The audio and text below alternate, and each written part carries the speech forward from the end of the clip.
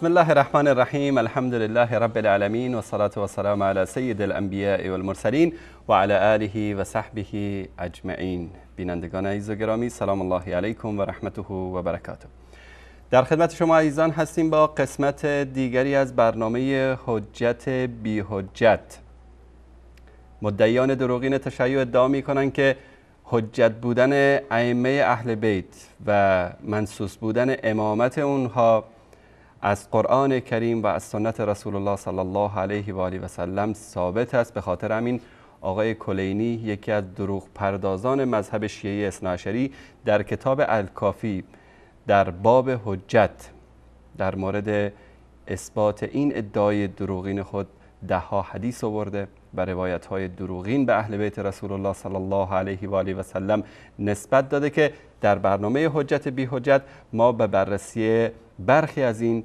ابواب و احادیثی که در این کتاب آوردن رو خدمت شما عزیزان بودیم با جناب حضرت مولانا عبدالقدوس دهقان. من قبل از که به مقدمه برنامه امروز بپردازم عرض سلام و ادب دارم خدمت حضرت مولانا. خوش آمدید. سلام الله علیکم خدمت جناب علی و همچنین تمامی بینندگان عزیز و ارجمندی که این برنامه را دنبال کردند و اکنون هم دنبال می کنند عرض ادب و سلام دارم. السلام علیکم و رحمت الله و برکاته. علیکم السلام و رحمت الله و برکاته. عزیزان بیننده که با ما بودن در خاطر گرامی شما عزیزان هست که در دو که گذشت در مورد ردیه‌ای که در شبکه گمراه زلالت یا همون ولایت خودشون بر این برنامه داشتن صحبت کردیم و در هفته که گذشت کلیپ تقریبا 27 دقیقه ای رو پخش کردیم بدون قطع و برید و همه صحبت ها رو در اینجا شما عزیزان شنیدید و ردیایی رو که حضرت مولانا عبدالقدوس دهقان بر سخنان پوچ جناب وجات الاسلام شطور مرغ داشتند.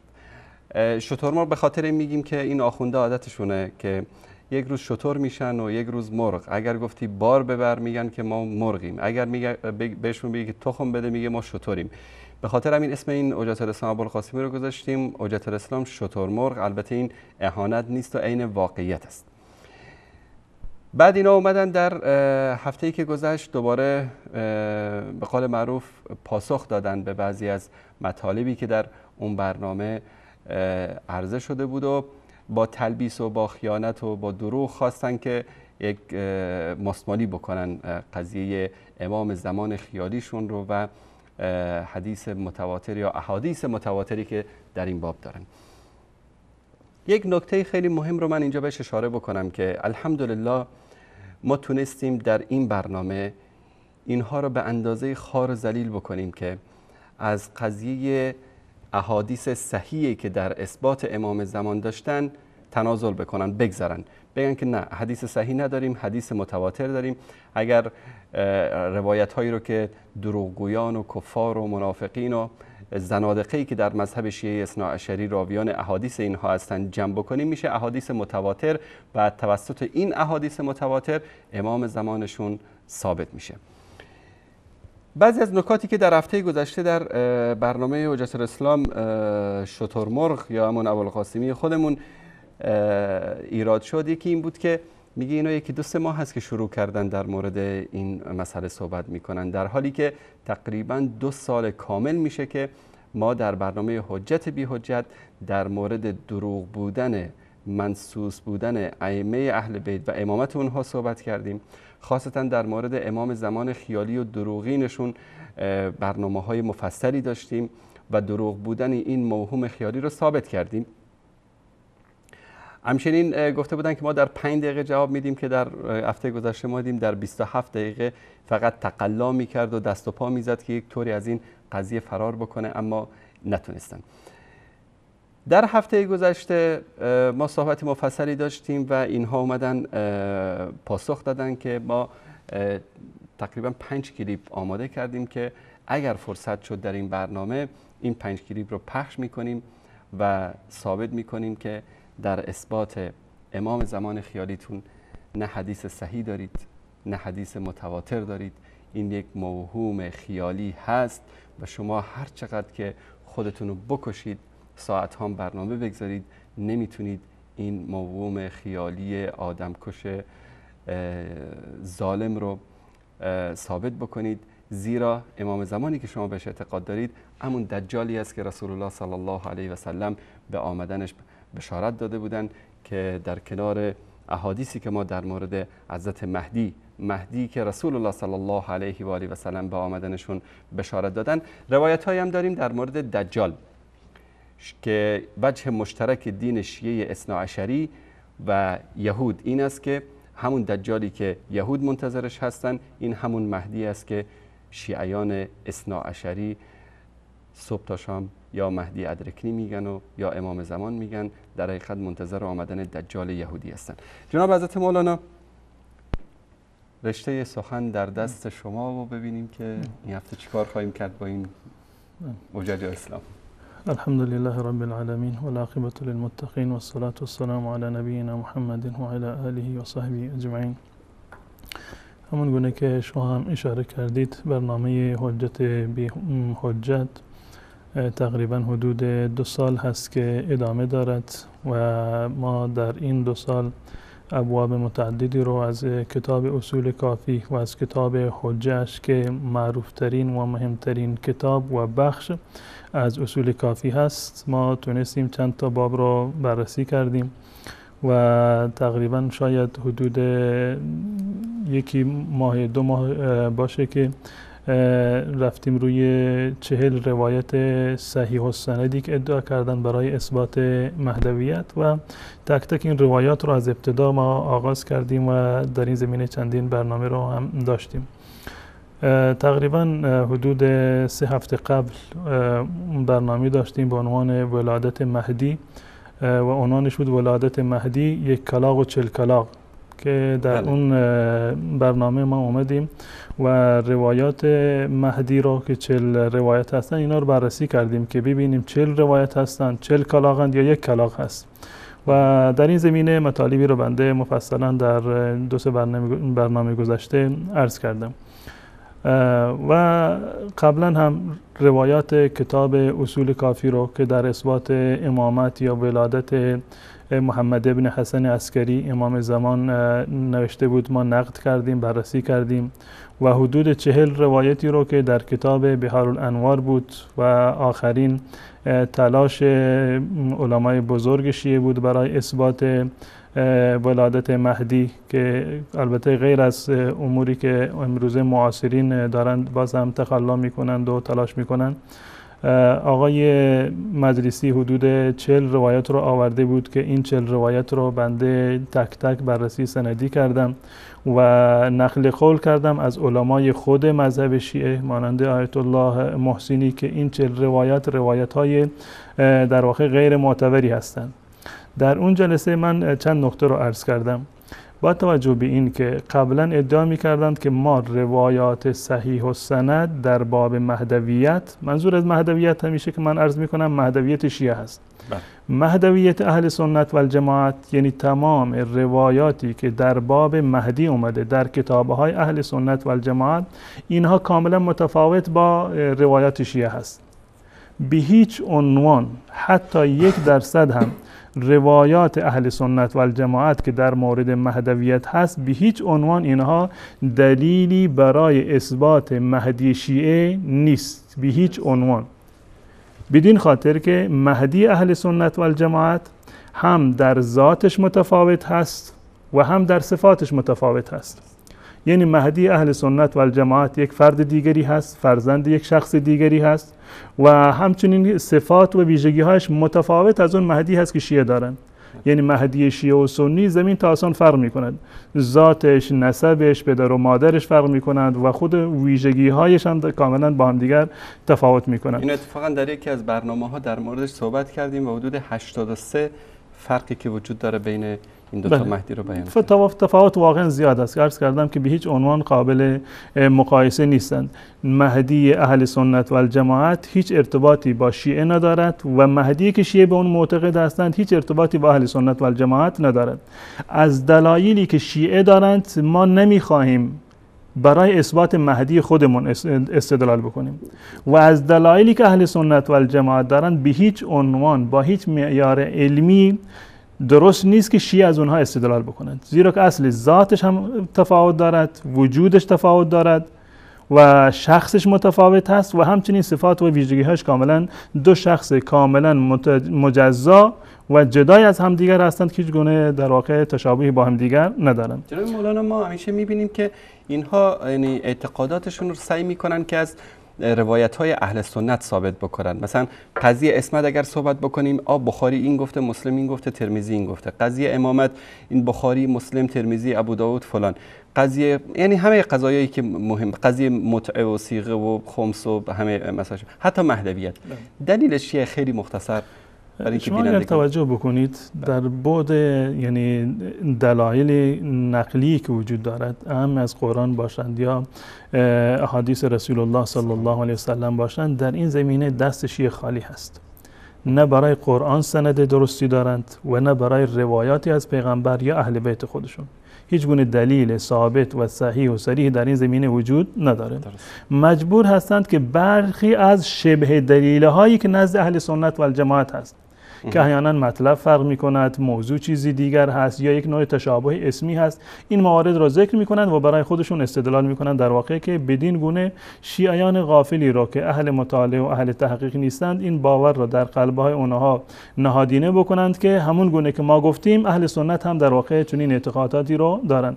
در صورتی که هیچ گونه تشابهی یعنی که از نظر اصولی ثابت باشه در میان شیعه و سنی در بیان بحث مهدویت یا بحث امامت در واقع وجود ندارد در اون برنامه که بنده ارز کردم که ما اومدیم این چهل روایت کتاب بهار انوار رو بررسی کردیم و جالب اینجا هست که در میان این چهل روایت من در اون برنامه خاطرتون باشد از چهل روایت من چهل تضاد رو بیان کردم. درست. در چهل روایت چهل تضاد رو من آوردم و بررسی کردم و اینجا خوندم در خدمت بینندگان عزیز. و عرض کردم که این چهل روایت دلیل بر تواتر نیستند بلکه چهل دلیلند برای نفی تواتر. درست. زیرا که چهل تضاد داره. یعنی اگر چهل نفر دروغو بیاند یک مطلبی رو ذکر بکنن. اونم متفاوت از هر یکی متفاوت با چیز دیگری با نفر دوم. خب ما می‌دونیم که تحقیق همشون دارن دروغ میگن. تضاد و تناقض دلیل در واقع بطلان هست. خب وقتی که ما اومدیم این روایات رو بررسی سندی کردیم آقایون یک ساز دیگر زدند که بله شیعه و سنی همه معتقد هستند که در متواتر بررسی رجالی اصلا لازم نیست. درست. بررسی رجالی در واقع لازم نیست. الان شما چرا اومدی بررسی سند سندی می‌کنید؟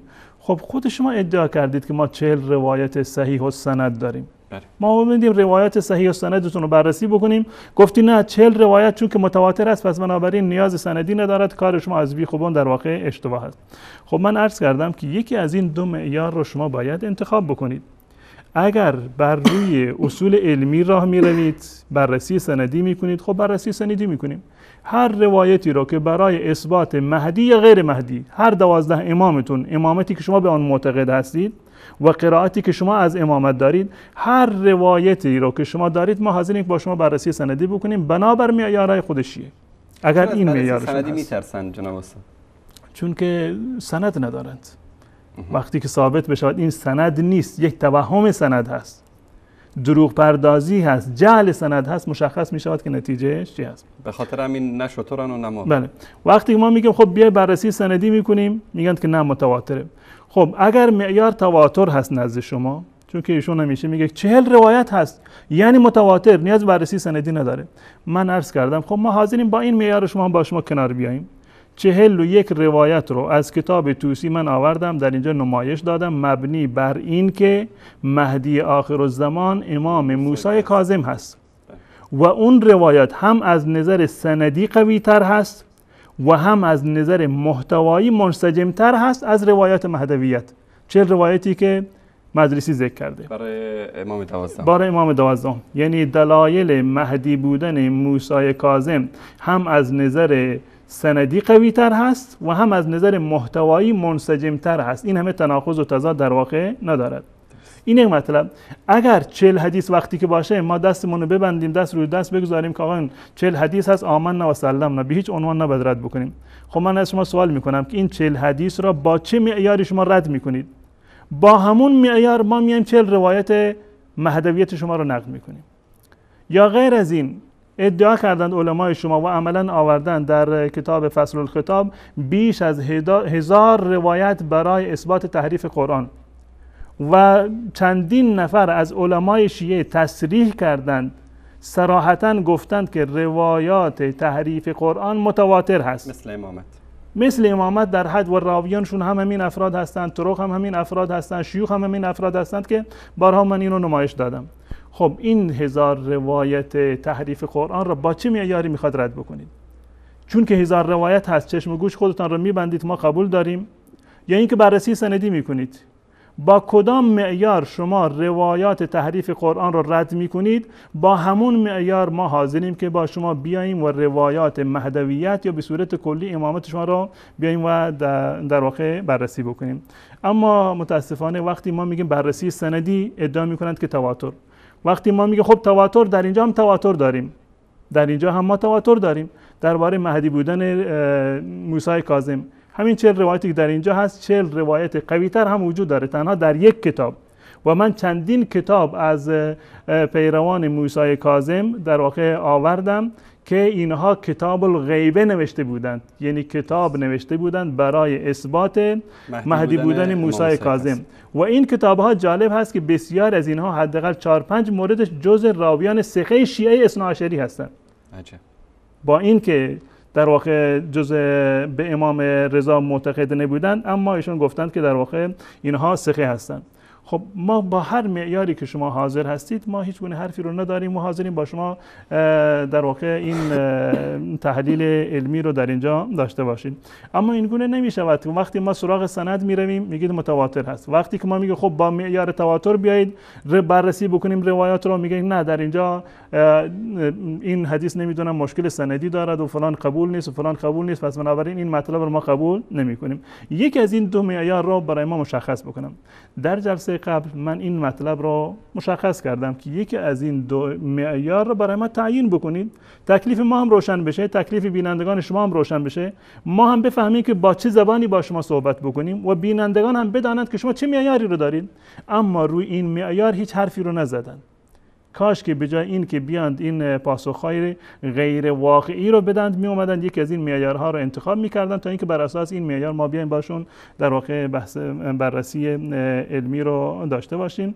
و این پاسخهایی هم که دادند ماهیت این پاسخها رو واقعا من وقتی که این حرف رو شنیدم به این یقین رسیدم که بحث علمی و تحلیل و بررسی سندی و علمی پاسخی در واقع حتما باید در حد خودش باشه. بله. یک بحث علمی باشه. زمانی که یک انسان از بحث علمی تفره می رود و یا می‌خواد که دروغ بگوید یا می‌خواد تدلیس بکند یا می‌خواد که فریبکاری بکند دلیل بر این هست که بر این مطلب دلیل خانه کننده ای رو ندارند و من از این نقطه خوشحال هستم که بینندگان عزیز در واقع با این روی کرد غیر علمی که در رد مباحث علمی دارند حقیقت انشاءالله برای همگان در واقع مشخص خواهد شد و این بحثی است که انشاءالله در برنامه امروز ما با توجه به حرف هایی که آقایون زدند خدمت بینندگان عزیز انشاءالله ارائه خواهیم داد. جزاکم الله خیر. البته وقتی که ما برنامه اینها رو نگاه کردیم جالب است که از بس که به قول استادشون آقای قزوینی اینو سوخته بودن در طول مدت برنامه هر چند دقیقه یک بار قضیه ملازده رو ذکر می‌کردن و شروع می‌کردن به فهاشی ما هم بر اساس همون منطق خودشون باشون برخورد کردیم و در طول هفته گذشته کلیپ جناب رهبر معظمشون البته معظم به معنی که علایاری اعتقاد داره و جناب به صلاح پیر و مرشدشون رئیس شبکهشون آقای مکارم شیرازی که خود آخونده بهش میگن که هم یهودی زاده است تا هم ورد زنا در طول هفته گذشته پخش کردیم و احمد جان در طول هفته آینده به دوستان اطلاع بده که هر چند ساعت یک بار در شبکه پخش بشه. و ما بارها گفتیم که از دوستان از محبین و دوستان آقای خامنه ای آقای مکارم شیرازی به خاطر پخش این کلیپ ها معذرت می‌خوایم. چون که خودشون دوست دارن که این چیزا پخش بشه. اگر که دوست ندارید می‌تونید که این باب رو ببندید و اگر هر موقعی که بخواید باز بگذارید برای ما هیچ مشکلی نیست و ما هیچ خط قرمزی هم نداریم. از خمینی گرفته تا خامنه ای و مکارم شیرازی اینا همه زیر پاهای ما هستن و برای ما ارزشی ندارن. جناب استاد اگر اجازه بدید بریم رو کلیپ ها بفرمایید. کلیپ اول رو دوستان عزیزمون در اتاق فرمان پخش بکنن در مورد کتاب چیه استاد؟ نخبت فکر. این کلیپ رو ببینیم و در موردش حضرت مولانا طریق مختصری خواهند داشت. اشکال به من گرفته. گفته شما اسم کتاب رو اشتباه گفتی. کلیپ دو صفر چهار رو با هم ببینیم. کلیپ دو صفر چهار ایرادی که به استاد ابوالقاسمی گرفتن گفتن اسم کتاب رو اشتباه خوندید. در این کتاب شرح نخبت الفکر هست. شرح نخبت الفکر فی مصطلح اهل الحدث اهل الاثر که این آقا اینو نخبت الفکر میخوندند که اشتباه از اسم کتاب رو درست نخوندم گفتن که شما چرا نخبت الفکر خوندید؟ من همونی که ایشون نشون داد نشون بدم. خدا فرام لطف کنن شرح و نخبت الف این چیه اینجا روی کاف گذاشته؟ این سکون نیست روی کاف گذاشته؟ من نمیدم کتابی که خودش داره نشون میده. نوشته شرح نخبت الفکر حالا یه کتاب دو مدل خونده بشه. من عکس دیگه نشون بودم شرح نخبت الفکر لشیخ محمد ابن هادی المدخلی. همه می‌تونن تو اینترنت جستجو بزنن. اینجا رو تا فرمان زوم کنید. رو کاف چی گذاشته؟ چه کسی است یه مقدار بیاین پایینتر. فضیلت و شیخ از دکتر محمد ابن هادی المدخلی از بزرگترین علمای رجالشون. حالا یه کتاب دو مدل می‌خونن. دیگه اشکال ما شیعه ها اینه. حالا بگیم است الغابه یا اسد الغابه هر دو جورش خونده شده. بگیم شرح نخبت الفقه یا نخبت الفکر هر دو جورش خونده شده. برای جناب مولانا. من اصولا یعنی عادت ندارم که این موارد غیر علمی رو تیتر بکنم روشون انگشت بذارم. اما یک در واقع اخلاق علمی هست. گوش زد کردن یک خطا خطا نیست. بنده هم احتمال دارد و قطعا این گونه خواهد شد که یک مطلبی رو اشتباه مثلا بخونم. نام کتابی باشه نام شخصی باشه نام یک شهری باشه این کاملا طبیعی هست. چه بسا احیانا به خاطر سبق لسان باشه یا احیانا شاید به خاطر برداشت غلط باشه. بله. کاملا عادی هست. یک فرد عالم یک موردی رو در واقع اشتباه بکنه و هیچ گونه ایرادی رو هم نداره. بدین خاطر هم من روی این مطلب بابی رو باز نکردم. صرفا دیدید در قالب نمی‌دونم چند ثانیه بود گفتند که عرض کردم که ایشون نام کتاب رو اشتباه خوندم درستش اینه. دیگه روی این آوردم و در واقع تحلیل بکنم که این آقا نام کتاب رو بلد نیست چطوری از محتوای کتاب خبر خاصه مثل در واقع روی کردی رو و روشی رو که این آقایون دارن. احتمال داره. من گفتم سبق لسانی بوده باشه یا اصلا تصور اشتباهی بوده باشه یا به هر صورت امکان دیگری هم در این زمینه وجود داره. منتها آقایون چون که اینو دوباره گرفتن به عنوان این که من بنده یک ایراد بی جایی رو گرفتم مجبور شدم دوباره این روی این نقطه در واقع من این صحیحش رو مشخص بکنم. جالب اینجا هست که ایشون با وجود این که دوباره می‌خواد اون اشتباهشون رو تصحیح بکنن باز هم اشتباه خوندن. اگر قرار بر اشتباه گرفتن باشه. باز هم همین کلمه رو در واقع اشتباه خوندن اسم کتاب رو زور زیر مثلا نخبت فکر اصلش هست. وقتی ما می شرح و نخبت الفکر اونجا هم اعراب هم گذاشته بود. کسر روی نخبه هم بود. اما ایشون در واقع توجه نکردن زیر که ذهنشون جای دیگر بود. احتمال داره کسی متوجه نیست. اما اگر بخواید علمی بررسی بکنید خب همین کتابی که شما دوباره اسمش رو خوندید دوباره اشتباه خوندید. یک جای دیگری رو اشتباه کردید. این یک مطلب. مطلب دوم اون بنده خدایی که کتابش رو نوشته. خب یک چیزی روی اسم کتاب گذاشته و این گونه نیست که ما فکر بکنیم که هم اینش درسته هم اونش درسته. الان این آقا اومده یک چاپی رو که مثلا به طور مثال یک خطاتی اشتباه نوشته. خطات بی سوادی بوده تو چاپخانه یک چیز رو اشتباه نوشته و یک کسره ای رو یا سکونی رو اشتباهی گذاشته. اونم آدم بی سوادی بوده. عاقلان پی بله. عاقلان پی نقطه نمی روند شما باید خود نام کتاب را محتوای کتاب را اصلا معنی همین جمله را شما به عنوان یک حجت الاسلام اینو باید در مد نظر می داشتید. اما همین کتاب را من نام کتاب را از کتاب مولا علی خاری شرح شرح نخبت الفکر هست. در این کتاب دوستان توجه بکنند. شرح و شرح نخبت الفکر. مال ملا علی قاری هست. همین کتابی هست که ایشون هم در این برنامه از اون در واقع استفاده کرده و به این خاطر ما خود این کتاب رو انتخاب کردم. در این کتاب نام کتاب را به صورت صحیح در واقع ذکر کرده. در صفحه 148 این کتاب در اینجا هست. صفحه 148 این کتاب هست در اینجا. و سمیتها فلخصته فی اوراق لطیفه در آخر میگه سمیتها. این کتاب رو من نامگذاری کردم به چی؟ یعنی این اوراق رو من نامگذاری کردم نخبت الفکر به نام نخبت الفکر این رو من گذاشتم. خب این چگونه تلفظ میشه؟ به کسر و فتح الکاف. با فایی که زیرش کسره هست و کافی که رویش فتحه هست. خب فکر یعنی چی؟ جمع الفکر. فکر جمع فکره. فکر مفرد هست فکر چی هست؟ جمع هست. و نخبت به زم فعلتون به معنی المفعول. نخبه بر وزن فعله به معنی مفعول هست. ای ما ینتخب و یختار. یعنی چیزی که انتخاب میشه برگزیده می‌شود. و الحاصل نتیجه چی هست؟ خیار و ما حصل من الافکار فی علم الاخبار. یعنی منظور از این عنوانی که من گذاشتم یعنی گزیده افکار در علم اخبار. گزیده افکار در علم اخبار. این افکار برگزیده رو من در این کتاب جمع کردم که در مورد علم در واقع اخبار و روایت حدیث است. در اینجا صراحتا آورده که این با کس به کسر فا هست و فتح کاف است. اینو همه طلاب علم در واقع هر کسی که با این کتاب آشنایی دارد این مطلب را می‌داند.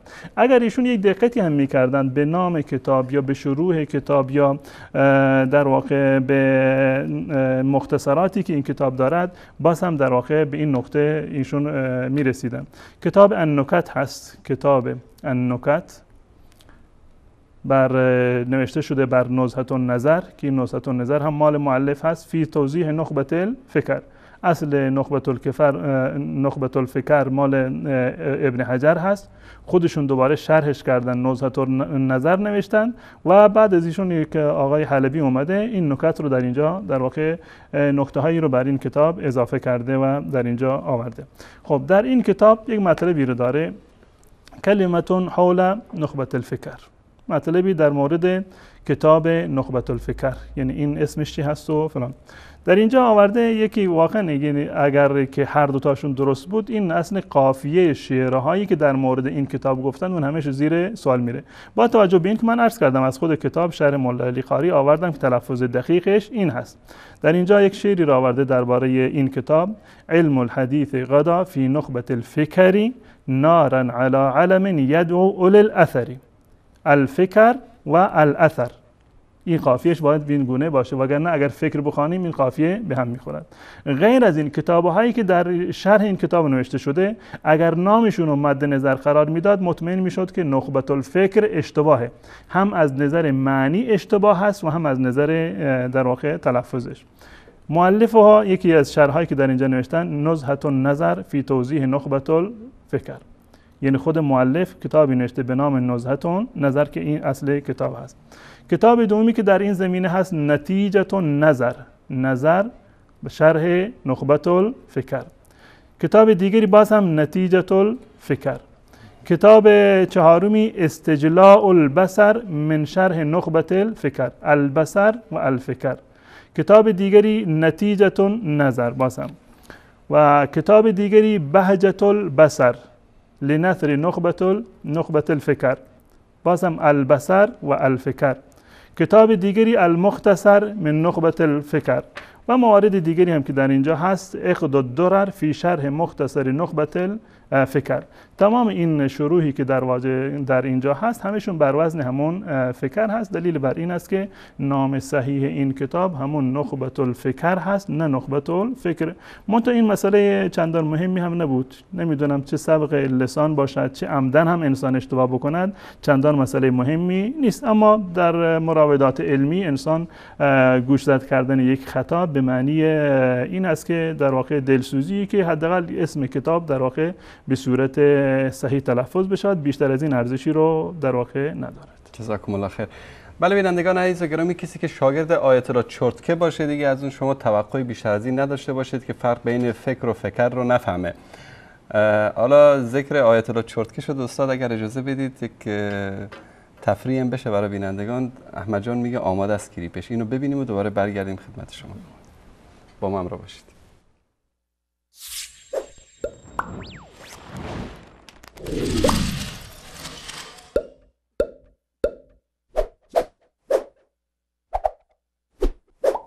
آیت الله چرتکه از 700 تا 800 855 خب عیب نداره. از 1000 تا 1100 از 1000 تا 1100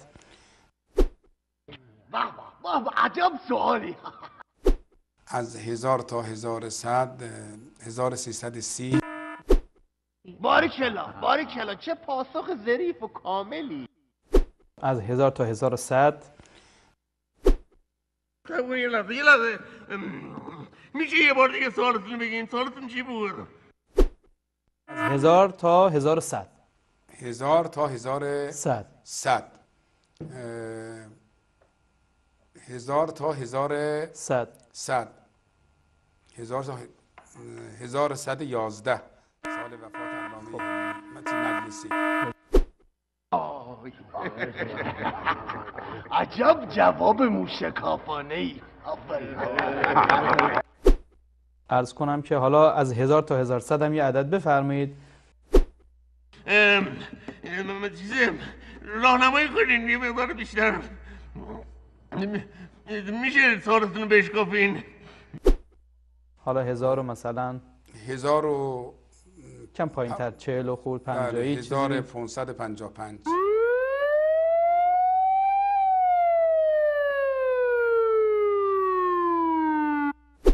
آفرین مسلطی به اعدادا من خوشم اومد آ آ چرتکه وسیله ای قدیمی است که برای انجام محاسبات به کار می رود.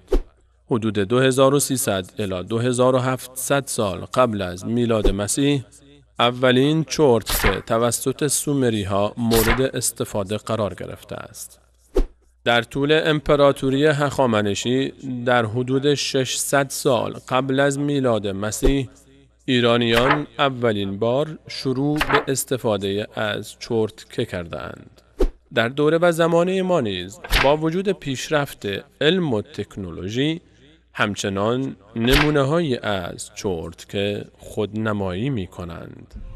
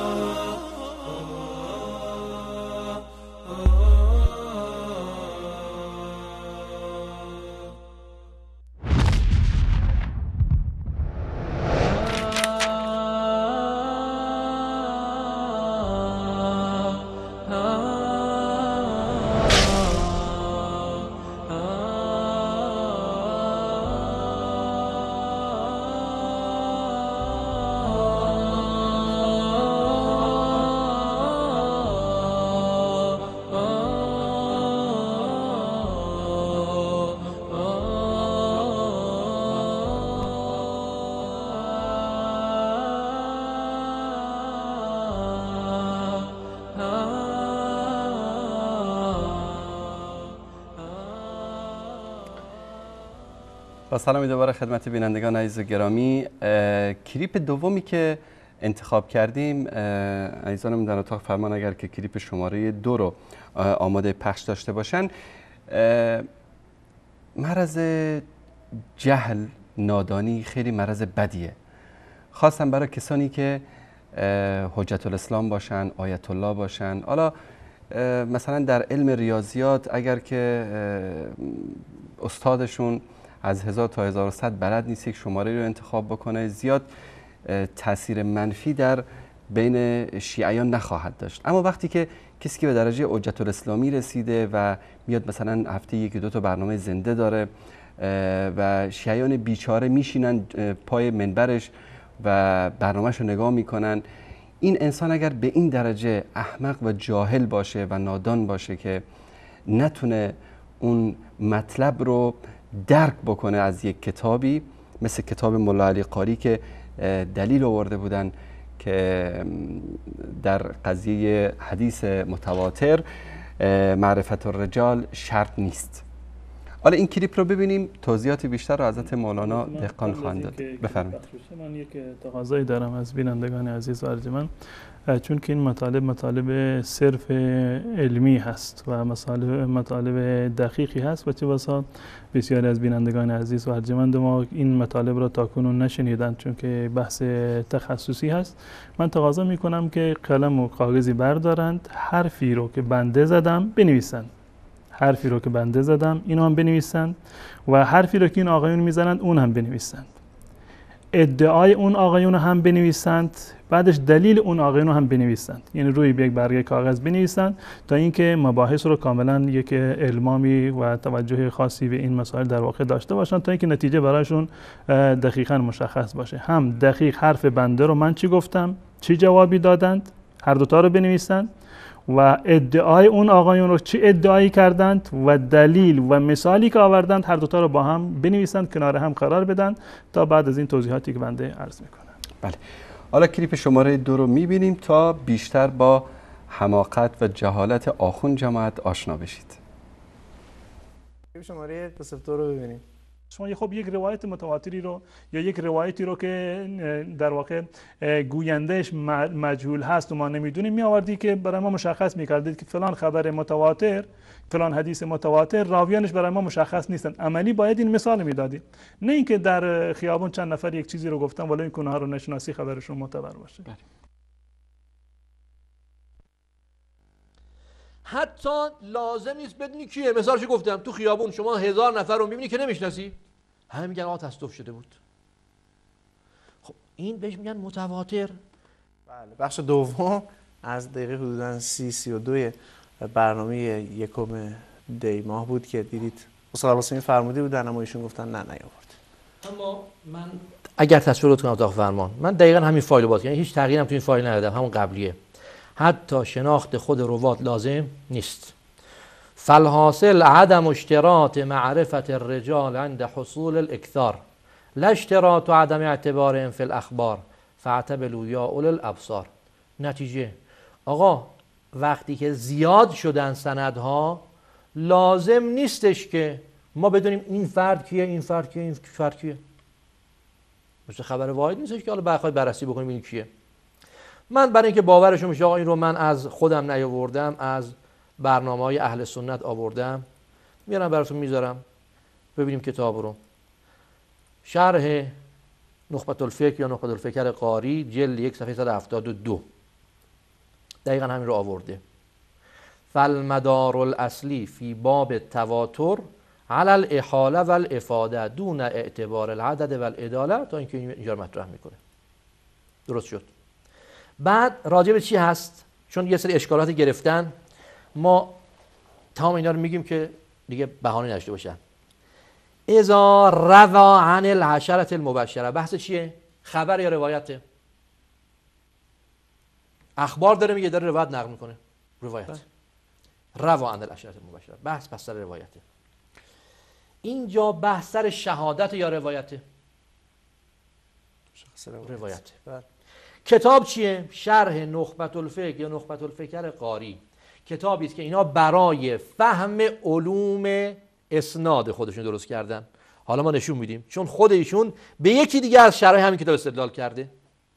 پس کتاب مربوط به علم روایت نه به علم اصول نه به علم نه به اخبار. بحثم مربوط به روایت. میاد میگه چی؟ میگه که مهم نیستش که افراد رو بشناسیم. گفت آقا نمونم داریم. من تو همون فایل خودم. یعنی دقیقا تو همون فایل نمونهش هم بود. یعنی من اول قاعده رو آوردم پایینش هم دقیقا چی آوردم؟ نمونه. نمونه. بله. خب بینندگان عزیز و گرامی شما زیاد گیر ندید به جهالت اینها چرا که در شبکه‌ای که رئیس کل این شبکه یک یهودی زاده ولد الزنا باشه تو- ما ما به این که چند حدیث متواتر است. قضیه به تواتر رسیده تعداد زیادی از حجج اسلام و آیات اعظام هین را گفتن و در حوزه علمیه قوم و نجف همونطوری که در کلیپی که در طول هفته گذشته و هفته آینده پخش خواهد شد انشاءالله اینو خواهید دید که این به حد تواتر رسیده که ایشون هم یهودی زاد از آیت الله مکارم شیرازی ولد زنا. هزار نفر که ایشون میگه که هزار نفر اگر در خیابون بیان یک مطلبی رو ذکر بکنن حالا اگر این هزار تا از حوزه علمی قم باشن و از علمی نجف باشن دیگه حدیث میشه فوق تواتر. این منطق ایشون هست و حالا ببینیم که جهالت و حماقت ایشون در کجاست. حضرت استاد در خدمت شماست بله دقیقا همین کتابی رو که ایشون استدلال کردن اون کتابی هست قبلا هم عرض کردم.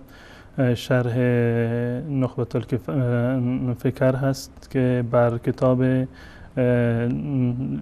شرح شرحش هست بله. یعنی شرح نوز- نزهت النظر هست و نزهت النظر شرح خود معلف هست نخبه و نوزه هر دو تا مال ابن حجر هستند و این شرح مولا علی قاری هست که همین مطلبی که در این کتاب نشون دادم درست. ایشون اومدند و گفتند که ما مطلب رو کامل نشون میدیم که تا فردا یک حرف دیگری رو نزدند اما باز هم این مطلب رو از وسط گرفتند که هیچ گونه ارتباطی نداره و مطلب واضح نشد میگن ترک عادت موجب بله. مرض است من این مطلب را به صورت کلی از اول میارم که مطلب چی هست و دعوا روی چی هست حرف ابن حجر چی بوده؟ حرف مولا علی قاری چی بوده؟ در این کتاب در صفحه 171 171 همین مطلبی که ایشون نشون دادم. یک مطلبی در اینجا هست رو ذالک عن مثلهم من الابتداء الى الانتهاء یکی از شروط تواتر رو بررسی می‌کنه. یکی از شروط تواتر رو که ابن حجر ذکر کرده این هست که این روایت باید از ابتدا تا انتها در یک سطح روایت شده باشه. این در حد تواتر. درست. یعنی ده نفر از ده نفر یا 20 نفر از 20 نفر عدد مشخص نیست. مهم این که عدد کثیری از عدد کثیری از ابتدای سند تا انتهای سند اینو در واقع نقل کرده باشن. در زیر این متنی که در اینجا آمده ملا علی قاری شرحی آورده روی این و یک دعوایی بین استاد و شاگرد رو نقل کرده. یک دعوایی بین استاد و شاگرد رو. استاد کی هست؟ نویسنده اصل کتاب هست. شاگرد کی هست؟ قاسم ابن قتلبقا هست. در اینجا ببینیم می- می‌گوید که قال المصنف. مطلب از اینجا در واقع شروع می شود قال المصنف فی تقریر هذا المحل. یعنی ابن حجر. یعنی ابن حجر. ابن حجر در توضیح این مطلب این نقطه را گفته. الان کجا گفته؟ اینو شاگردش داره نقل می‌کنه. در کلاس درس خودش. بله. در من کتابش جناب وجود استاد. فقط یک یادآوری بکنم که این آقای ابوالقاسمی گاهی اوقات استاد دانشگاهی تو مسجدی تو جایی تو حسینی بهشون این کلیپ ها رو میده که پاسخ بده من از ایشون خواهش می‌کنم یا از اون 200 تا مرجع و استادی که هستن یک قلم و کاغذ بگیرن این مسائل رو یادداشت بکنن که تا اینطور آبروریزی نکنید تو شبکتون این من این مطلب رو از این کتاب نمی‌خونم. از جایی که مولا علی قاری گرفته از اونجا می‌خونم. منتها این مطلب رو استاد و شاگرد برای بینندگان عزیز مشخص باشه. دقت بکنن در اینجا. میگه قال المصنف فی تقریر هذا المحل. مصنف یعنی نویسنده کتاب در توضیح این مطلب و این شرط تواتر که این تواتر باید در تمام طبقات سند باشد چنین فرمودند. از اینجا بعد از این دو نقطه حرف ابن حجر هست که شاگردش نقل می‌کنن. بعدش در پاراگراف بعدی ابن مولا علی قاری میگه قالت تلمیز و شاگرد گفته. اول گفت مصنف گفته بعدش گفت که شاگرد گفته. یعنی این که مصنف استاد و شاگرد با هم دیگر اختلافی داشتن. الان اختلافشون روی چی بوده؟ نقدی که شاگرد ابن حجر بر استاد خودش گرفته چی بوده؟ اینو برمیگردیم از کتاب خود شاگرد این خدمت بینندگان عزیز من می‌خونم. دوستان عزیز نمایش بدن. حاشیه ابن قطلوبقا هست بر شرح نخبت الفکر نخبت الفکر شرحی ارز, کردم دارد به نام نزهتون نظر. هر دوتاشون این هر دوتا کتاب مال حافظ ابن حجر هستن. در این کتاب ببینیم که این شاگرد علیه استاد خودش چه نقدی رو دارن چه مطلبی رو در اینجا گفته و بعد از این مولا علی قاری اومده در میان استاد و شاگرد میانجیگری کرده. درست. اینها رو با هم دیگه صلح داده که حرف شما درسته حرف استاد درسته یا حرف شاگرد درسته. خب در اینجا میگه که المصنف ببینید در صفحه قبلش هست می‌گوید که قوله رو ذلك عن مثلهم من الابتداء الى الانتهاء همون مطلبی که در اصل کتاب بود. قال المصنف فی تقریر هذا المحل. همون حرفی رو که مولا علی قاری زده اینجا از زبان خود قطلوبقا هست. قاسم ابن قطلوبقا هست. خب در اینجا میگه استاد من چی گفته؟ استاد من اینو گفته که المراد مثلهم فی کون العادت تحیل تواتعهم علی الكذب منظور از این که مثلشون باشند یعنی در یک حدی باشند که تبانی اونها بر دروغ ممنوع باشه. از نظر عقلی امکان پذیر نباشه. در یک حدی باشند اون رجالی که در سند هستند در تمامی طبقات در یک حدی باشند که تبانیشون بر دروغگویی امکان پذیر نباشد. و این لم یبلغوا عددهم. گرچه به تعداد تواتر نرسند. گرچه عددشون زیاد نباشه. در یک حدی باشند که تبانی اونها بر دروغ امکان پذیر نباشد. عددشون زیاد مهم نیست. درست. خب در اینجا توضیح می‌دهد ابن حجر. بازم این همون حرف استاد خودش هست میاد ابن حجر میگه فسبعت العدول ظاهرا و باطنا مثل عشرت عدول فی الظاهر فقط. هفت نفر که از نظر ظاهری و باطنی عادل باشند مساوی هستند با ده نفری که ظاهرشون عدالته. یعنی هفت نفری که خدا اونا رو تعدیل کرده. در قرآن برای رضایت اونها روایتی رو داریم. یعنی هم باطنشون تعدیل شده و هم ظاهرشون که ما از اونها در واقع عادل هستن. میگه هفت نفر از اینها مساوی با ده نفر هستن. یعنی کاری به تعداد در اینجا نداره. تعداد مهم نیست. صفتشون مهمه. ده نفری که عدالتشون قوی تر هست هفت. نفری بله. هفت نفری که عدالتشون ثابت شده از ظاهر و باطنا مساوی هستند با ده نفری که عدالتشون پایین تر هست و فقط ظاهرا ثابت شده. این حرف ابن حجر هست. مثل عشرة عدول فی الظاهر فقط. مثلا این به عنوان یک مثال اینو در اینجا میگه. فإن الصفات تقوم مقام الذوات. می‌گوید که صفات قائم مقام ذوات هستند. درست. یعنی ویژگی های هر فردی. یا به تعبیر امروزی مدرک خودش رو تقویت می‌کنه. صفتش و ویژگیش درجه علمیش خودش رو تقویت می‌کنه. اگر یک طرف ما نگاه بکنیم به طور مثال چند نفر کارگرند؟ چند نفر کارگر. اما طرف او- طرف دیگر چند نفر بی سوادند به طور مثال یک نفر حجت الاسلام باشه. کدومشون ترجیح داره؟ حجت الاسلام. چرا؟ چون که حجت الاسلام چون که دیگه خیلی. به هر صورت در اینجا قول ابن حجر هست. ابن حجر می‌گوید که صفات قائم مقام زوات هستند. یعنی این که اگر تعداد از تعداد راویان متواتر کاسته شد و در مقابل بر صفاتشون افزوده شد انسانهای قوی بودند معتبرتری بودند ظاهرا و باطنا عدالتشون ثابت شده بود این در واقع این صفات قائم مقام زوات خواهد بود. بل قد یفید و قول سبعت صلحا. باز هم اینو مثال می‌زند. می‌گوید که قول هفت نفر انسان صالح بل قد یفید و قول سبعت صلحا العلم. از حرف هفت نفر انسان نیکوکار ما به یک مطلب علمی می‌رسیم. قولشون مفید علم هست. ولا یفیده قول عشرت دونهم فی الصلاح. ده نفر دیگر که به اون اندازه اهل صلاح نیستند انسان نمی‌تونه به حرفشون به اندازه اعتماد بکنه که بر اون هفت نفر اعتماد داره. در صورتی که عددشون هم بیشتر هست. چرا بر هر هفت نفر اعتماد کردی؟ چون که اونها انسانهای صالحی هستند فالمراد حينئذ المماثلة في إفادة العلم لا في العدد. نتیجه ای که ابن حجر گرفته چی هست؟ می‌گوید که ابن حجر می‌گوید که پس بنابراین منظور افاده علم هست که ما از این تعدادی که روایت کردن ما به علم یقینی تری برسیم. لا فی العدد عدد در اینجا اعتباری رو ندارد. خب تا اینجا این قول خود ابن حجر هست. من خلاصه می‌کنم این قول ابن حجر رحمت الله علیه را. ابن حجر در اینجا می‌گوید که تعداد راویان خبر متواتر چندان مهم نیست بلکه صفاتشون مهمتر هست. درست. اگر تعدادشون کمتر بودند اما صفاتشون قویتر بود. عالم بودند حجت الاسلام بودند نمی‌دونم صالح بودند و فلان بودند. این صفت و ویژگیشون قول اینا رو کفه اینها رو ترازو اینا رو چکار می‌کند؟ سنگین تر می‌کند. یعنی به این معنا که مثلا ما سه نفر از صحابه داریم ابوبکر و عمر و علی. بله. سه تا از صحابه. در طرف مقابل ما مثلا ده نفر از تابعین داریم. داریم. در اینجا برای من قول این سه نفر از صحابه برابر قول ده نفر از تابعین ارزش داره. ارزش داره. چون که اینها ظاهر و باطنشون رو الله سبحانه و تعالی در قرآن کریم تایید کرده. بله. خلاصه حرف اینه. بله حرف اینه که ابن حجر میفرماید که در اینجا شخصیت معتبره صلاح معتبره عدالت معتبر هست و عدد معتبر نیست. نیست. این حرف ابن حجر هست. خب بعد از این شاگرد چی می‌گوید؟ قلتو الان حرف شاگرده. که این حرف شاگرد رو باز مولا علی قاری در اونجا نقل کرده. الکلام الاول هو الصحیح. کلام اول اون صحیحه. کلام اول یعنی چی؟ یعنی این که عددشون به اندازه برسه که برای ما یقین آور باشه. اینو ما قبول داریم. عددشون به اندازه برسه که یقین آور باشه. این مطلب رو من قبول دارم.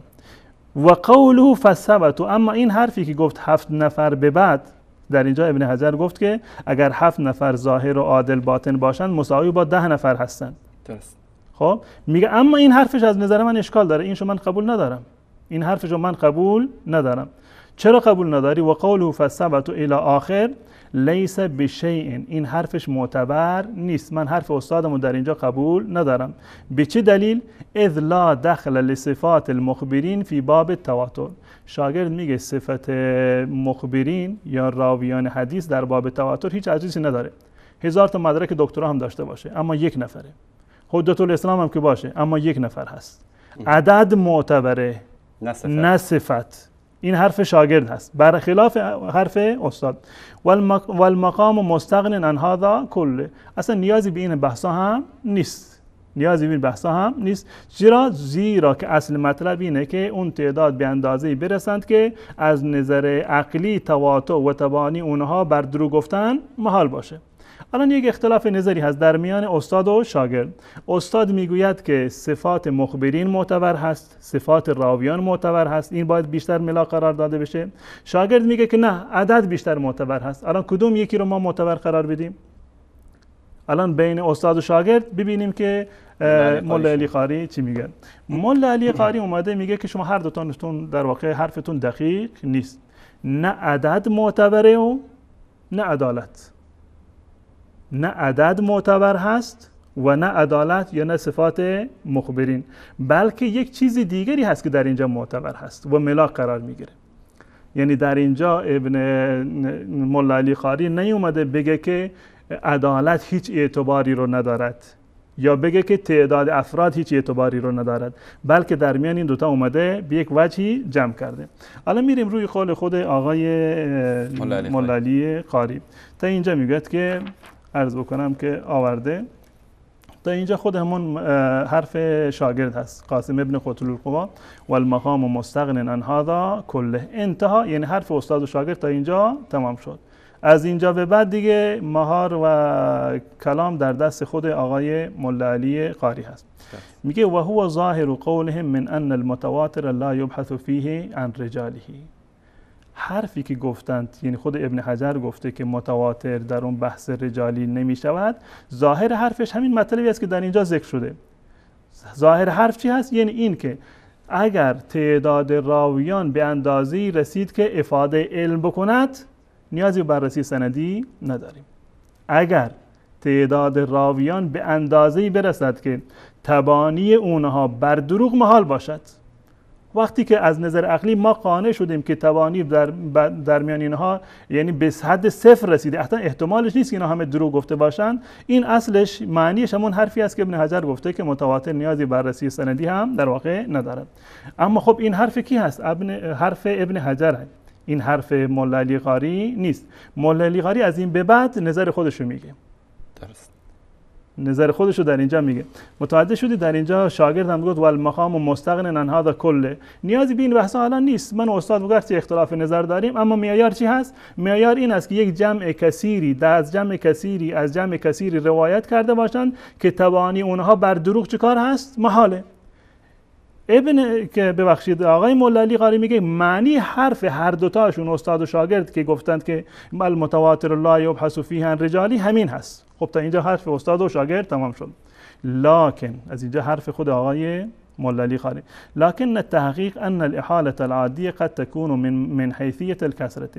می‌گوید که این ما از کجا بفهمیم که محال که اینها بر هم دیگر چیکار بکنند؟ یعنی توانی بکنند برای دروغ گفتن. این محال بودن رو ما از کجا متوجه میشیم؟ باید یک معیاری باشه که ما متوجه بشیم که محال که اینا دروغ بگن.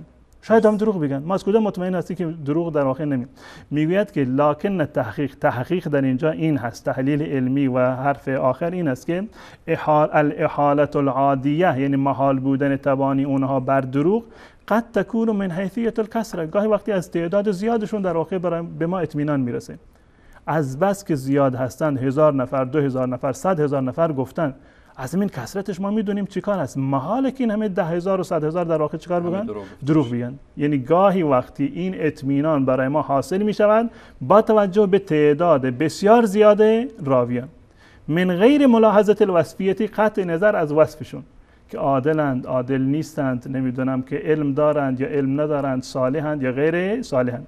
گاهی وقتی تعداد به اندازه زیاد می شود که دیگه این احاله برای ما ثابت میشه که محال است که اینا بر دروغ در واقع کرده باشند وقت تکونو به انضمامهما گاهی وقتی هر دوتا با هم میشند یعنی هم عدد و هم وصفیت که با هم بشن ما به نتیجه می‌رسیم که این همه آدم که همهشون حدت الاسلام هستند پس بنابراین توانی اینها بر دروغ محال هست و قابل وقوع نیست. گاهی وقتی هم عدد تاثیر دارد و هم عدالت یا هم صفات مخبرین. فإن وقد تكون بانضمامها كما اذا روى عن العشرة المبشرة. یک مثالی رو به طور مثال که اگر روایت بکنند از اشره, مشو... مبشره مثلا 20 من التابعین. ده نفر از صحابه اشره مبشره از اینها 20 نفر از تابعین چیکار می‌کنند؟ روایت می‌کنند. 20 نفر تابعی از ده نفر صحابی که اشره مبشره هستند روایت می‌کنند. فانه لا شک ان العاده تحیل اتفاق الاولین علی الكذب. در این هیچ شکی وجود نداره که اتفاق اولین یعنی اشره مبشره بر دروغگویی چیکار هست؟ محاله. زیرا که ظاهرا و باطنا ما می‌دونیم که چیکار هستند؟ الله متعال اونها رو. عادل کرده. ولا تحیل اتفاق العشره من التابعین علیه. اما ده نفر تابعی باشند شاید هم احتمال داشته باشه. که یا اتفاق بکنند بر دروغگویی یا اینکه اشتباه بکنند. ولو کانوا عدولا گرچه ده نفر عادل هم باشند. اش- احتمال اشتباه در اینا در واقع منتفی نیست. و کذا مثال دیگری رو میزن تمام اینها قول خود آقای علی قاری هست. اگر از اون ده نفر ده نفر ما مطمئن هستیم که هم عددشون زیاده ده نفرن و هم صفاتشون. یعنی میگه که هم عدد معتبر هست و هم صفت. صفت معتبر هست در اینجا. پس بنابراین نمیشه که ما عدد را نادیده بگیریم یا صفت رو. هر دو تاشون معتبر هستند این مثال رو داره می‌زنن. و کذا اذا نقل 20 من المفتین. به طور مثال اگر 20 نفر مفتی و مدرس یک چیزی رو نقل بکنند یک مسئله را یحصل العلم بهم ما لا یحصل بما ينقل 20 من الطلبه. 20 نفر استاد وقتی که یک چیزی رو نقل بکنند اگر در مقابل 20 نفر طلبه نقل بکنند خب اعتماد ما بر 20 نفر استاد چیکار هست؟ بیشتر. بیشتر, هست. او 50 من غیرهم. یا 20 نفر طلبه باشند 20 50 نفر عادی باشند بازاری باشند. کدوم معتبرتر هست؟ خب اونی که در واقع 20 نفر طلبه هستند حوزه دیده هستن اینها دیگه قولشون باید قوی تر باشه از 50 نفری که اهل بازاری باشن. خب پس بنابراین من این رو در اینجا خلاصه می‌کنم که ابن حجر اسقلانی رحمت الله علیه می‌گفت که در اینجا صفات مخبرین اعتبار بیشتری رو دارد. ابن حجر می‌گفت. شاگردش می‌گفت که نه صفات مخبرین در اینجا تأثیری رو ندارد و عدد در اینجا چیکار هست؟ تأثیر بیشتری رو دارد. این اختلاف استاد و شاگرد هست. مولا علی قاری اومده در اینجا می‌گوید که نه عدد معتبر هست و نه عدالت. معیار اصلی نه روی عدد هست و نه روی عدالت هست. بلکه معیار اصلی احاله و افاده هست. احاله و افاده. یعنی معیار اصلی بر این است که ما به این نتیجه برسیم که تجمع اینها توانی اینها بر دروغ محال هست و افاده علم بکند. معیار اصلی نه عدد هست و نه عدالت. یعنی عدد و عدالت معتبر نیستند خب چی معتبر هست؟ احاله معتبر هست و افاده معتبر هست. این دوتا در واقع می‌گوید که اینها معتبر هستند خب من اینجا یک بحث رو اینجا نگه میدارم. خب ما از کجا این احاله و افاده رو از کجا حاصل می‌کنیم؟ یک سواله.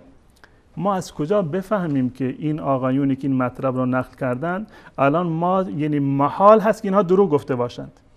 با چه معیاری ما بفهمیم که این آقایونی که این حرف رو زدن حرفشون مفید علم هست؟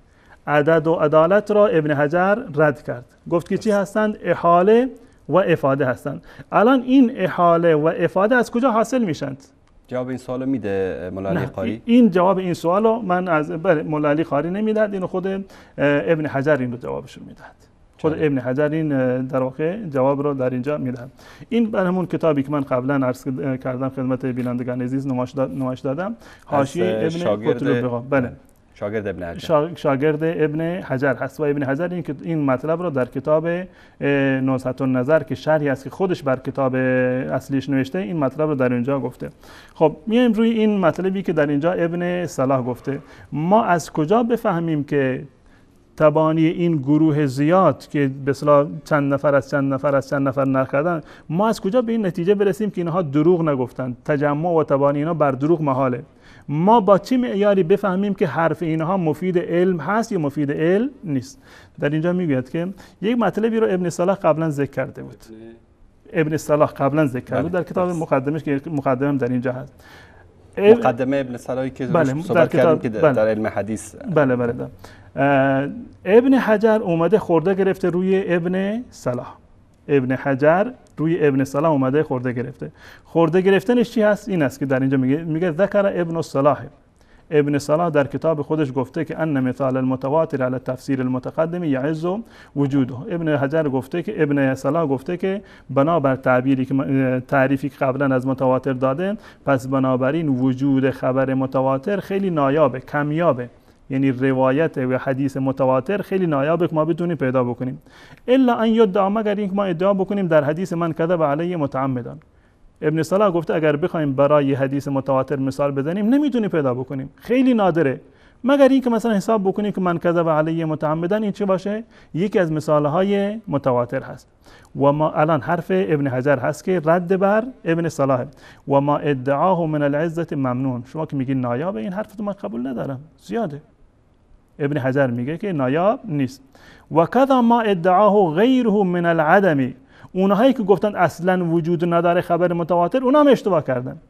هم ابن صلاح اشتباه کرده گفته که کم نایابه و هم اونایی که گفتن اصلا نیست اونا هم اشتباه کردن. به چه دلیل؟ به چه دلیل این محال این دلیلش در اینجا مهم هست. و این دلیل ابن حجر در واقع روش رسیدن ما به احاله و افاده هست. نه عدد معتبر هست و نه عدالت. احاله معتبر هست و افاده. چگونه ما به احاله و افاده برسیم؟ راش در اینجا این هست که ابن حجر میگه لان ذلك نشا عن قلت اطلاع على کثرت الطرق. این حرفی که ابن حجر زده یا اونهایی که گفتن حدیث متواتر وجود نداره علتشون اشکال کارشون در کجا هست؟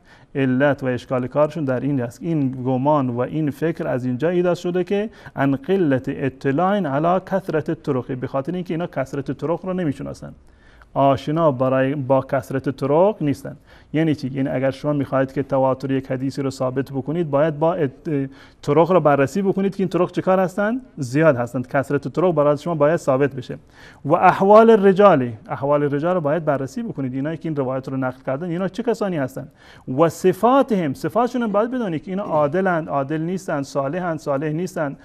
ضبطشون خوب هست یعنی حافظهشون خوب هست یا خوب نیست مسلمانند یا مسلمان نیستن پس بنابراین این موارد رو باید بدانید. خب الان ما اومدیم کثرت طرق رو هم پیدا کردیم. بررسی کردیم دیدیم که طرق زیادی دارد احوال رجال رو هم بررسی کردیم دیدیم که رجال معتبری هستند صفاتشون هم بررسی کردیم دیدیم که انسانهای عادلی هستند خب ما به چه نتیجه می‌رسیم بعد از این؟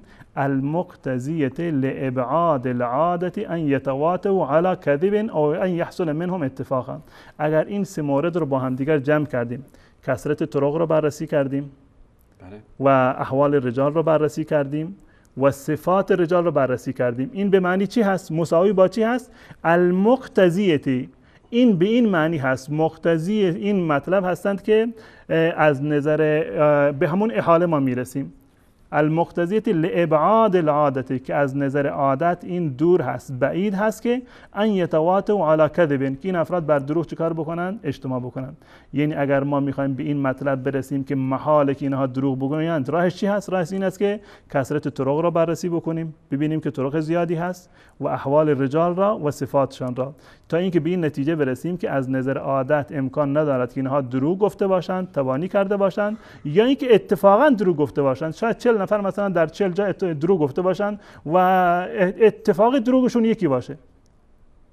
امکان نداره. خب وقتی که زیاد باشن چون این چیزی در واقع ات- اتفاق نداره. می‌گوید که ما باید این طرق رو بررسی بکنیم احوال رجال رو باید بدانیم و صفاتشون رو بررسی بکنیم تا اینکه به این نتیجه برسیم که این گروه گسترده تبانی بر دروغ در واقع نمی‌کنن. الان این حرفی است که تا اینجا تمام شد. من واقعا جالبه. یعنی کسی که از این چیزا بیخبر باشه و در مدرسه کسی مثل قزوینی درس خونده باشه یقینا این چیزها رو تا 100 سال نان بینمک هم به قول افغان ها بخوره متوجه بله. نمیشه. با توجه به این توضیحی که خودش داد. هم حرف استاد رو من آوردم هم حرف شاگرد رو آوردم و هم حرف ملالی قاری رو. الان ملالی قاری چه نتیجه گیری میگه؟ میگه فالمدار الاصلی فی باب التواتر. معیار اصلی در باب تواتر بر احاله هست و افاده. بر احاله و افاده. احاله یعنی محال بودن تبانی بر دروغ و افاده یعنی افاده علم یقینی بکنند معیار اصلی برای شناخت متواتر این هست. دون اعتبار العدد و العداله نه عدد معتبر هست و نه عدالت معتبره. ایشون در برنامه اینجوری وانمود کردند که در اینجا گفتند که عدالت معتبر نیست. خب این ابن حجر ابن ببخشید مولا علی خاری میگه که نه عدد معتبره و نه عدالت معتبره بلکه احاله و افاده در اینجا چیکار هستن؟ معتبر هستن. میگه نه بله یک نقطه البته هست اینو باید اعتراف کرد که قد ینضاف الى العدد وصف گاهی وقتی به عدد یک وصف اضافه میشه یک ویژگی این عدد این تعداد داشته باشند که یقوم به خیل احالتو. که احاله رو به برای ما ثابت بکنه. یعنی محال باشه که یعنی این تعداد یک ویژگی رو داشته باشند که ما به این نتیجه برسیم که محالی که اینا واقع توانی بر تعداد بکنن. صحابی باشن تابعی باشن بله عالم اهل باشن. تخصص باشند عالم باشند. شا- شاید یک صفتی ویژگی رو داشته باشند یک تخصصی رو داشته باشند که اتفاق اینها بر دروغ امکان پذیر نباشه. من منکر این نیستند فتحصل به الافاده. وقتی که احاله ثابت شد چیکار می شود افاده هم حاصل می شود وقتی که ما به این نتیجه برسیم که محال هست که اینها دروغ بگویند به این نتیجه می رسیم که حرفاً حتما حرفشون درسته. حرف درست هم مفید یقین هست. فالحاصل و حاصل در اینجا این مهم هست. این نقطه است که در اینجا آقایون در اون فایل وردشون از اینجا به بعد آورده بودند. قبل مطلب را که دعوا روی چی هست و حرف روی چی هست و نتیجه گیری چی هست اینو در واقع نیاورده بودن فالحاصل و عدم و اشتراط معرفت الرجال. این عبارت خیلی دقیقه. بله. خیلی. دوستان این صفحه مانیتور من رو اگر نشون بدن این دقیقا همون صفحه شبکه زلالت هست و همون فایل وردی که ایشون ادعا می‌کرد. اگر که صدایش را هم دوستان اگر می‌خوای صداش رو پخش بکنی من یک نکته رو در اینجا میگم. بفرمایید. ایشون اومدن این نقطه رو ترجمه کردند که فالحاصل و خیلی هم با آب و تاب اینو میخوندن. فالحاصل و عدم و اشتراط معرفت الرجال عند حصول الاکثار تا اینجا خوب ترجمه کردن. دنبالش را لا اشتراط و عدم اعتبار فی الاخبار فاعتبروا یا اولی الابصار اینو ترجمه نکردن. اصل مطلب در همین نقطه هست. اگر اینو دقیقا ترجمه می‌کردن استدلالشون از این حرف مولا علی خاری درست نبود. اگر این تیک رو پخش بکنید چشم، من همین قسمت رو میارم. هیچ تغییری هم تو این فایل ندادم همون قبلیه. چون گفتن نه نیاورد. اما من اگر تصویر کنم اتاق فرمان. من دقیقا همین فایل رو باز کردم. هیچ تغییری هم تو این فایل ندادم. همون قبلیه. حتی شناخت خود روات لازم نیست. ببینید دوستان عزیز همه این صحبت هایی که حضرت مولانا اینجا از کتاب ها نشون دادن جریان درگیری بین استاد و شاگرد و میانجیگری ملا علی قاری رحمه الله بود در این قضیه و بعد از همه این جریانات رو که در یعنی چندین صفحه ذکر می‌کنه فالحاصل نتیجه می‌گیره. نتیجه این است. حالا ببینید که اینا چه خیانتی می‌کنن در اینجا. فالحاصل عدم اشتراط معرفة الرجال عند حصول الاكثار لا اشتراط عدم اعتبارهم في الاخبار فاعتبروا یا اول الابصار. نتیجه. آقا وقتی که زیاد شدن سندها لازم نیستش که ما بدونیم این فرد کیه این فرد کیه این فرد کیه. تا اینجا ترجمه کردن تا اینجا ترجمه کرد. دنبالش. تا این قسمت ترجمه کرد. ادامه مطلب رو که احمد جان یک مرتبه دیگه اگر که نشون بده. ادامه مطلب رو که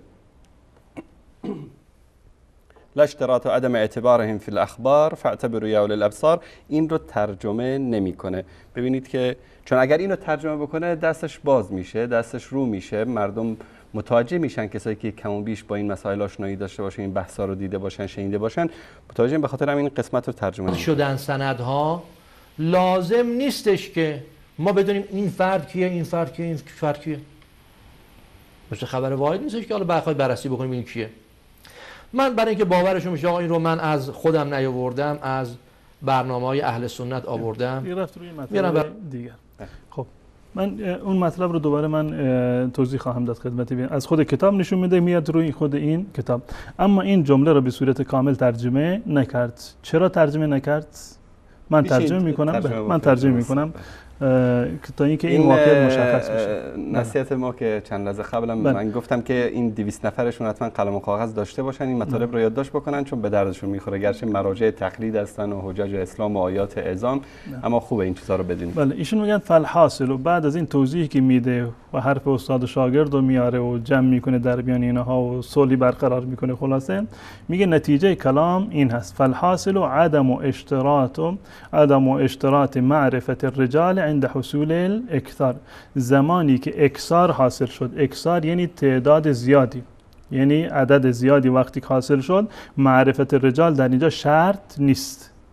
وقتی که اکسار این اکسار کدوم اکسار قبلا توضیح داد. اکساری که موجب چی باشد؟ احاله و افاده باشه. زیرا که قبلا خود مولا علی قاری گفت که معیار عدد و عدالت نیست. معیار عدد و عدالت نیست.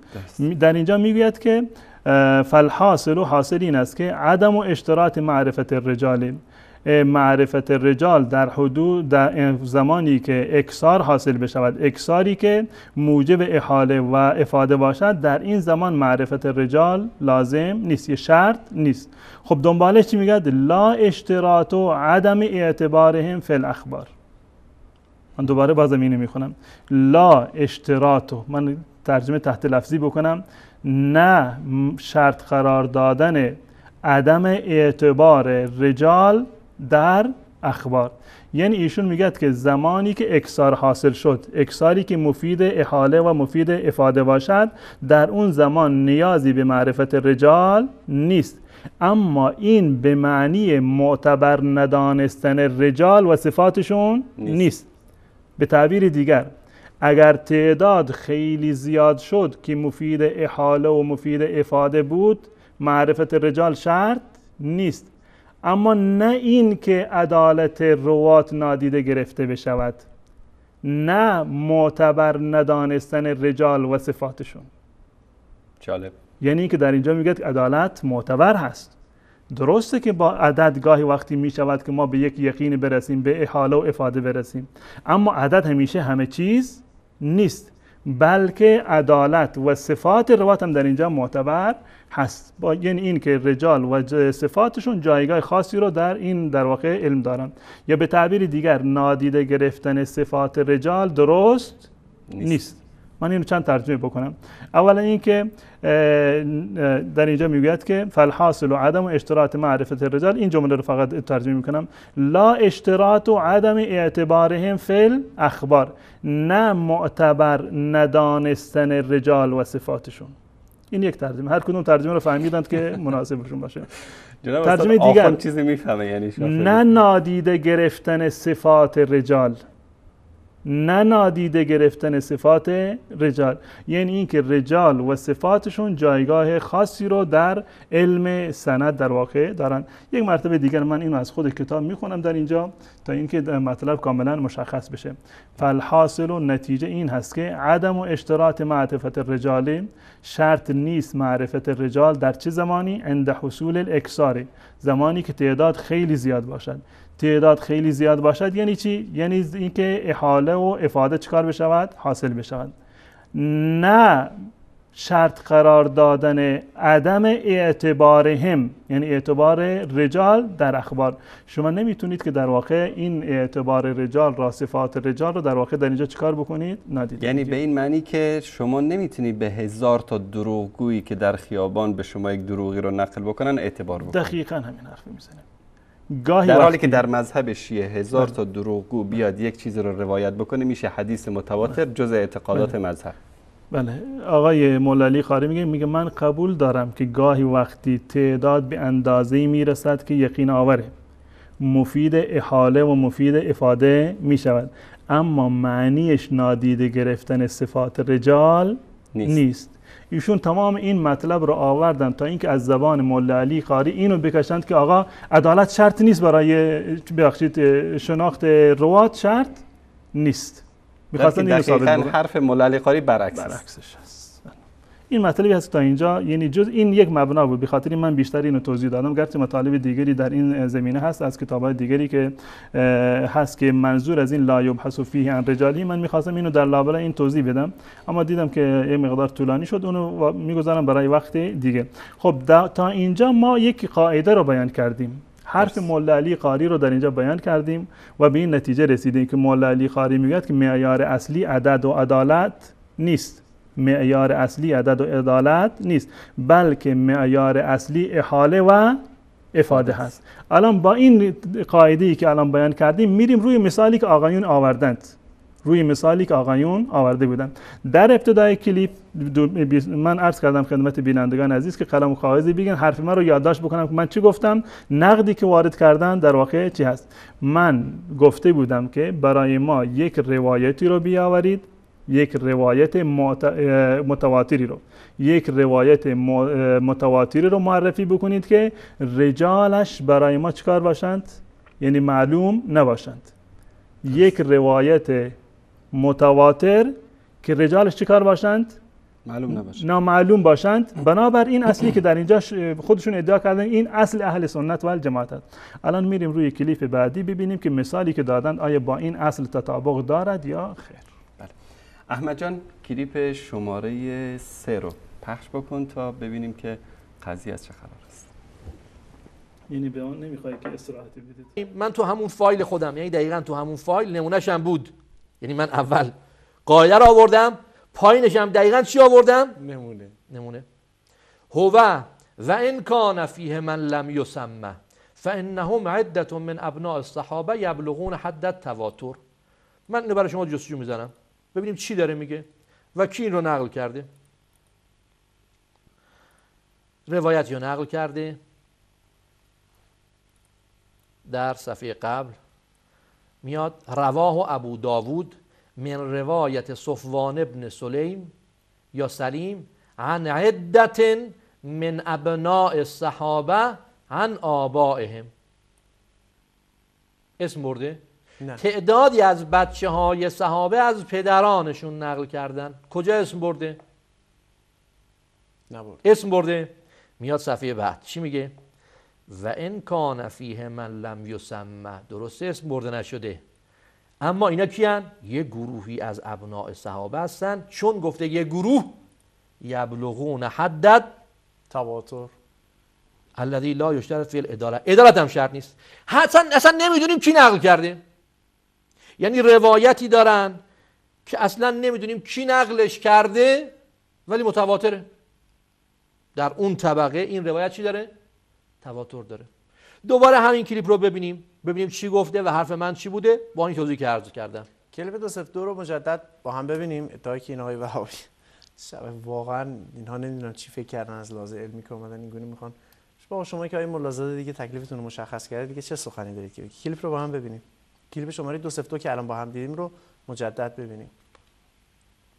شما یه خب یک روایت متواتری رو یا یک روایتی رو که در واقع گویندهش مجهول هست و ما نمی‌دونیم می آوردی که برای ما مشخص می‌کردید که فلان خبر متواتر فلان حدیث متواتر راویانش برای ما مشخص نیستن. عملی باید این مثال می‌دادیم.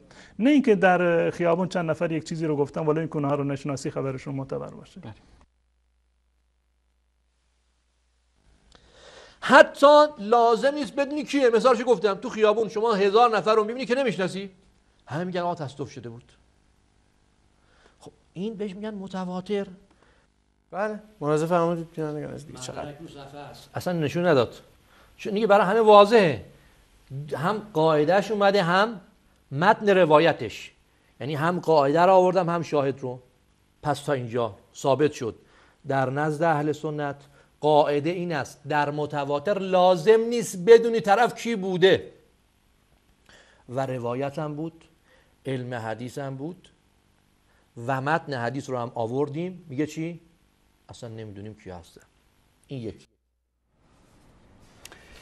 برای بینندگان عزیز گرامی کسانی که در مدرسه یهودی زاده های ولد زنا به بزرگ شده باشند و مدیرشون هم بلد نباشه که از هزار تا هزار صد یک شماره ای رو انتخاب بکنه بیشتر از این نمیشه ازشون توقع داشت. و جناب استاد الان جواب یعنی کاملی رو انشالله آماده کردن برای این واقعا یعنی من به وقاحت اینها باید خندید استاد. یعنی از یک طرف جهالت از یک طرف وقاحت که دو صفت و ویژگی آخوند هاست که همیشه با اینها هست و به وسیله همین صفاتشون مردم رو فریب میدن و حقایق رو وارونه جلوه می‌کنن جناب استاد در خدمت شما. من به خاطر اینکه متاسفانه باز هم یعنی وقت شاید کم بیاریم قبل از این ایشون ادعا کرده بودند که روایتی هست که افرادش معلوم نیستند اما باز هم چیکار هست متواتر.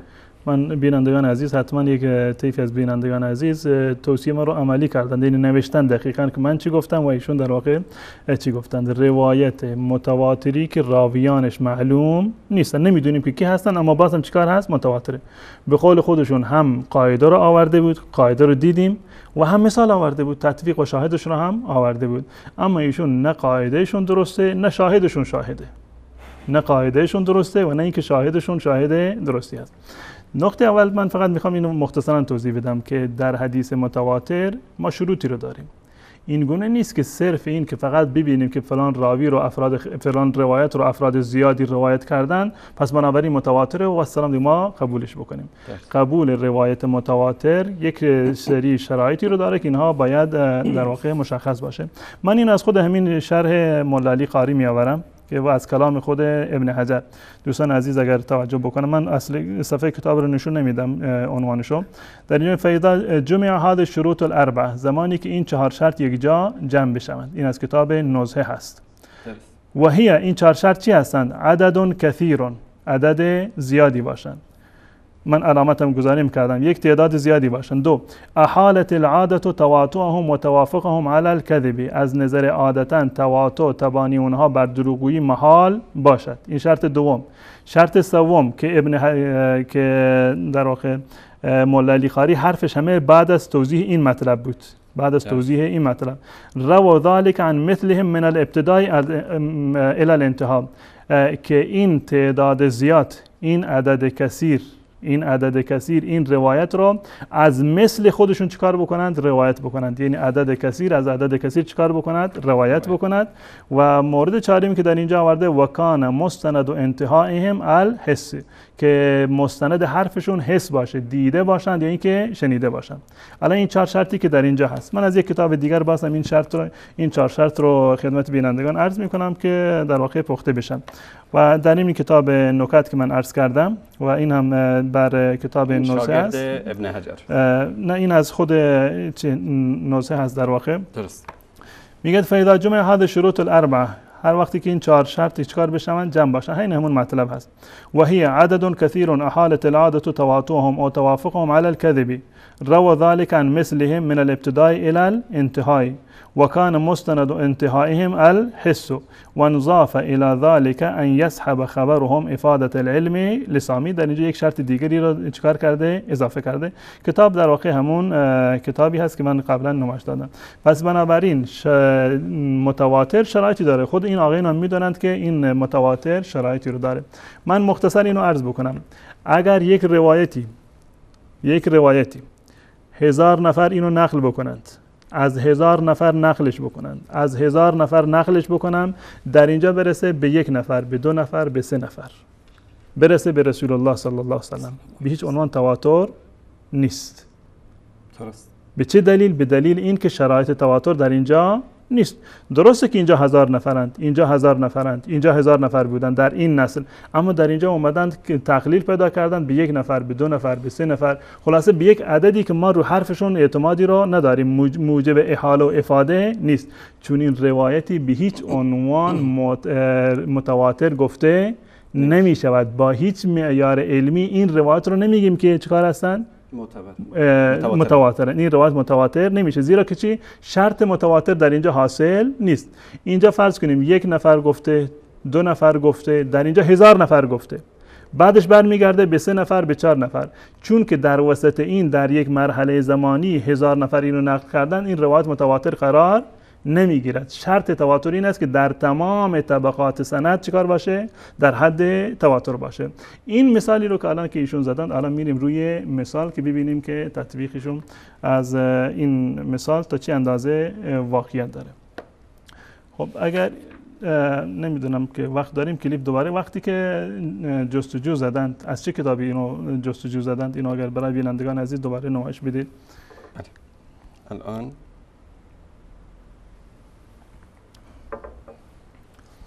از کتاب اشد الفیاح دوستان اشد الفیاح بله. امین احمد جان نشون بده؟ بله, بله. همین کتاب هست.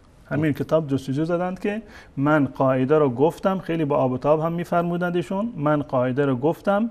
مثالش هم این هست. مثالشون هم در اینجا در واقع آورده و ذکر می‌کنن. از شز الفیاح من علوم ابن صلاح. دقیقا همین کتاب هست. علامه شیخ برهان الدین ابراهیم ابن موسی ابن ایوب. متوفای 802 هجری هست. در اینجا آمده و این مطلب را از این کتاب چیکار کرده؟ نقل کرده.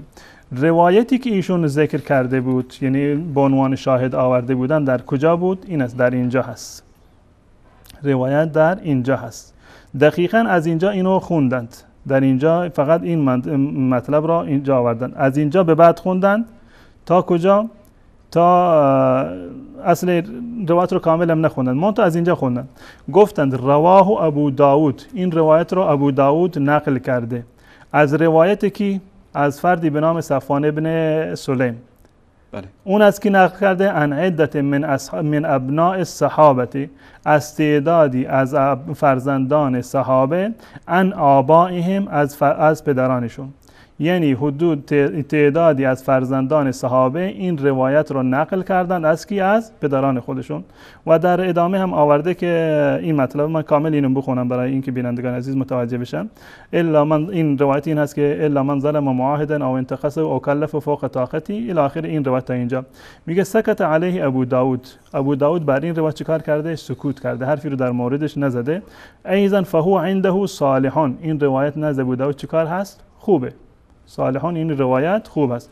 و هو کذالک این گونه هست این گونه هست حرفش درست ابن, ابن داود ابو داود که گفته فان اسناده جیدون این سند سند چی هست؟ جید هست. سندی که این روایت نقل شده سند چی هست؟ جید هست. در اینجا این مطلب هست. و هو و این کان فیه من لم یسمى گرچه در این سند افرادی هستند که نام برده نشدند. مشخص نیست که اسمش کی هست. فقط گفته تعدادی از فرزندان صحابه از پدرانشون نقل کردن. میگد این روایت ولو این که در آن تعدادی از افرادی هستند که نام برده نشدند فانهم عده من ابناء صحابه تعدادی از فرزندان صحابه هستند یبلغون حد تواتر به حد تواتر می‌رسند الذي لا یشترط فیه العداله اون تواتری که در اون عدالت شرط نیست. یعنی تواتری که یعنی در حد کسرت رسیدند که مفید احاله و افاده هستند و تواتر در اون در واقع شرط نیست. و رواه البیهقی فی سنن الکبرى عن ثلاثین من اصحاب من ابنای اصحاب رسول الله بیهقی همین روایت رو آورده از چند نفر؟ از سی نفر از فرزندان صحابه از اصحاب رسول الله صلی الله علیه و سلم خب پس بنابراین بینندگان عزیز توجه بکنن در این روایت. این روایت رو ابو داود آورده. از کی نقلش کرده؟ از صفوان ابن سلیم اینو ذکرش کرده. صفوان ابن سلیم. چند نفر از در اینجا؟ یک نفر. ان عدت من اصحاب من ابناء الصحابه از تعدادی از فرزندان صحابه این چیکارش کرده؟ نقلش کرده. و اونها هم از پدران خودشون نقل کردن. یعنی این که این روایت در اینجا چیکار هست؟ یک نفر رسیده. یعنی این تعداد زیادی که در اینجا 20 نفر یا 30 نفر از فرزندان صحابه هستند فقط در یک مقطع چیکار هست؟ سند هست. فقط در یک مقطع سند در یک مرحله است. در تمام مراحلش نیست. پس بنابراین همون گونه که خودش هم از زبانش در رفت این مثلا متواتر نسبی هست. متواتر اصطلاحی نیست. متواتری که شرایط تواتر رو داشته باشه که در تمام ادوار چیکار باشد؟ یعنی تعداد کسی این روایت کرده باشد.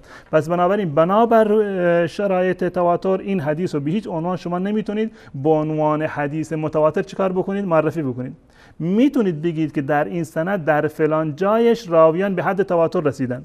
اما این معنیش نیست که حدیث چیکار شده؟ متواتر هست. این یک مطلب. خب بازم توضیحاتی در این زمینه خواهم داد. و جالب اینجا هست که بدانید که این مثال را صاحب کتاب در اینجا آورده به عنوان این که مثال بزند برای روایتی که هیچ اصل و بنیادی نداره. عجب. بله. یعنی صد درصد برعکس قضیه. ایشون میگن که آه اینم روایت آوردن. سی نفر روایتش کرده. سی نفر در یک جا هست. این هم حدیث متواتر. گفتن که متواتر هست و افرادش هم مشخص نیستن. کدوم اهل سنت و الجماعت گفته که این روایت متواتر هست؟ بلکه ائمه اهل سنت و الجماعت گفتند که این حدیث حدیث بی بنیادی هست. اصل و اساسی رو اصلا نداره.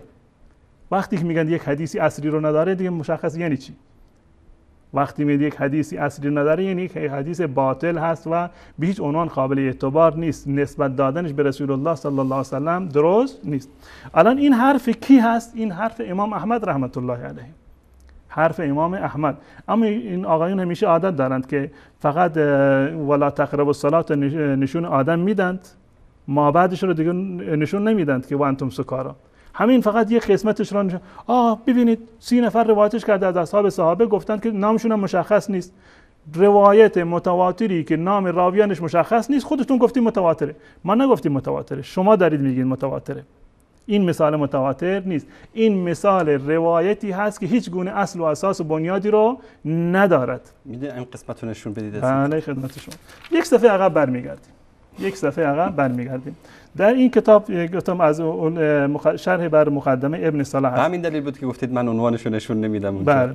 در اینجا هست. می‌بینیم النوع الموفا 30 نوع سی- سیومی که در اینجا معرفی کرده در مقدمه ابن صلاح که مقدمه ابن صلاح خاطرتون هست یک برنامه مفصل رفتیم که آقایون اومدن از این کتاب دزدی کردن برای خودشون علوم حدیثی رو در واقع درست کرده بودند که من نمونه های رو آوردم در اونجا. خب در اینجا در مورد معرفت مشهور یعنی حدیث مشهور کدوم حدیث هست خب این کتاب من از اصل خود کتاب از اصل خود کتاب. اینم کتاب مقدمه ابن صلاح هست. مقدمه ابن صلاح که این شذ الفیا شرحی بر این هست. فی علوم الحدیث و حافظ ابی امر عثمان ابن عبدالرحمن شهر زوری همین نوع سیوم همین نوع سیوم در اینجا آورده. در اینجا این مطلب هست کما بلغنا عن احمد ابن حنبل رضی الله عنه انه قال اربعه احادیث تدور عن رسول الله صلی الله علیه وسلم. امام احمد رحمت الله علیه فرموده که چهار تا حدیث هستند چهار حدیث هست. تدور عن رسول الله که سر زبانها و بر در بازارها معروف هست که این قول رسول الله صلی الله علیه وسلم هست. چی فرموده؟ لیس لها اصلون. این چهار روایت و چهار حدیث اصلی رو ندارند. معروفه که میگن این قول رسول الله هست حدیث رسول الله هست اما این چهار روایت اصلی را ندارند. این چهار روایت چی هستند؟ دوباره این چهار روایت رو توضیح میده. من بشرنی به خدو- خروج آزار بشرت بالجنه و من آذا ذمیا فانا خصمه یوم القیامه. متوجه شده؟ و یوم نحرکم یوم صومکم وللسائل حق و این جا علی فرس. یک روایت دو روایت سه روایت و چهار روایت. خب این قول کی هست؟ قول امام احمد ابن حنبل رحمت الله علیه. امام احمد ابن حنبل رحمت الله علیه گفته که چهار تا روایت هست در بازارها خیلی معروف و مشهوره اما هیچ گونه اصلی از رسول الله صلی الله علیه وسلم ندارن. الان این چهار روایت کدوم روایت هست و کی اینها رو روایت کرده؟ ببینید همون مطلبی که من در اونجا نشان دادم و کما بلغنا عن احمد ابن حنبل رضی الله عنه انه قال اربعه احاديث تدور عن رسول الله صلی الله علیه وسلم فی الاسواق ليس لها اصل. چهار روایت هست که معروفه اما هیچ گونه اصل سندی نداره. ثابت نیست که رسول الله صلی الله علیه وسلم اینو چکار کرده؟ این رو در واقع فرموده باشند. خب این اصل خود قول ابن صلاح هست الان میریم روی شرحی که در اینجا داده. قوله و کما بلغنا عن احمد بن حنبل عن احمد بن حنبل رضي الله عنه انه قال اربع احاديث تدور في الاسواق ليس لها اصل. ثم ذكرها امام احمد رحمت الله علیه این چهار روایت رو چکار کرده؟ ذکر کرده کدوم روایاتی هستند که غیر معتبرند؟ قول پیغمبر نیستند اصلی و بنیادی رو ندارند. کدوم هستند؟ و ظاهر ان هذا لا يصح عن احمد. این یک اشکالی گرفته که این قول از امام احمد شاید درست نباشه. فانه اخرج منها حدیثا فی مسنده که یک از این روایت رو در مسند خودش آورده. من اینو توضیح بدم. این اومده اشکال گرفته که شاید نسبت این حرف به امام احمد درست نباشه. به چی دلیل؟ زیرا که امام احمد یک از این روایاتی رو که گفته اصل نداره در کتاب خودش آورده. درست. خب آورده باشه. ولو اینکه آورده باشه. روایاتی هستند. خود امام احمد گفته ضعیف بازم در کتاب خودش اونها را آورده. این دلیل بر این نیست که این مطلب در واقع از امام احمد در واقع درست نیست. و غیر از این سخاوی در این زمینه مفصل بحث کرده. من نمی‌خوام روی این بحث بکنم. این بحث رو می‌گذارم. بعد از اینکه آقایون جواب بدن ان به صورت مفصل تر خدمت بینندگان نمایش میدم. بحث من در اینجا هست. که این چهار روایت کجا هست؟ چهار روایت در اینجا کجا هست؟ می‌گوید که و هو حدیث این چهار روایت کدوم هستند؟ یکی همین لسائل حق و اینجا علی فرس و قد ورد من حدیث الحسین ابن علی. این چهار روایت رو یکی یکی بررسی می‌کنه که این چهار روایت کجا هستند کی اونها رو چیکار کرده؟ روایت کرده. این روایت اول هست. قد ورد والحرماس ابن زید فاخرج ابو داود ابو داود آن آورده. و قال رسول الله لسائل حق و اینجا علی. فرس این روایتی هست که در اینجا آورده و میگه و هذا اسناد جید و قد سکت علیه ابو داود فهو عنده صالح این روایت اول هست که اینو در واقع میاره. و اما حدیث الحرماس. حدیث دومی که در اینجا آورده بود که این سند دیگری رو که در اینجا ذکر می کند این حدیث و اما حدیث الحرماس و اما حدیث من آذا ذمیان اما حدیث من آذا در اینجا امام احمد گفته بود چهار تا حدیث هستند یکی این حدیث هست که من بشرنی به خروج آزار و دومی من آذا ذمیان روایت اول رو گفت که کی نقلش کرده کجا نقلش کرده و درجه چی هست. اما الحدیث من آذا ذمیان اما حدیثی که امام احمد فرمودند اصل نداره و من آذا ذمیان فانه معروف ایضا. این حدیث هم خیلی معروفه. بله همین صفحه رو نشون بدید از شبکه زلالت همین آخوند دروغگو که میخوندین قسمت رو. و اما حدیث من آذا زمیا فانه معروف ایضا. حالا ببینیم که ادامه که در صفحه بعدی است که ایشون نمی‌خونه چی ایشون قبلا نخوندن. نگفتند که این حدیث چیه جریان حدیث چی هست اصلا بحث روی چی هست و این مطلب رو کلا دیگه نادیده گرفت. فقط در اینجاش آورد رباه ابو داود من روایت صفوان ابن سلم که ابو داود اینو در کتاب خودش چیکار کرده؟ نقل کرده از تعدادی از فرزندان صحابه از از پدران خودشون و این همین حدیث هست. الا الا من ظلم معاهدا. اینو من عرض می‌کنم که این این حدیث روایات متعددی رو داره الفاظ متعددی رو داره. من قتل معاهدا اومده من آزاد ذمیان اومده. در این مطلب اومده که الا من ظلم من ظلم معاهدا اومده. تمام اینها یک روایت هست و همهشون از روایت صفوان ابن سلیم هست. با همین سندی که در اینجا ذکر شده. امام احمد رحمت الله علیه این حدیث این لفظش رو ذکر کرده من آزا زمین فانه معروف ایضا. رواه عین همین حدیث رو ابو داود نقل کرده در کتاب خودش در صفوان ابن سلیم از تعدادی از اصحاب رسول الله صلی الله علیه وسلم از ابنای صحابه از پدرانشون. این حدیث این است الا من ظلم معاهدا او انتقصه او کلف فوق طاعتی او اخذ منه شیئا بغیر تیب نفس فانا حجیجه یوم القیامه. میگه سکت علیه ابو داود امام ابو داود وقتی که این روایت رو در کتاب خودش آورده چیکار کرده؟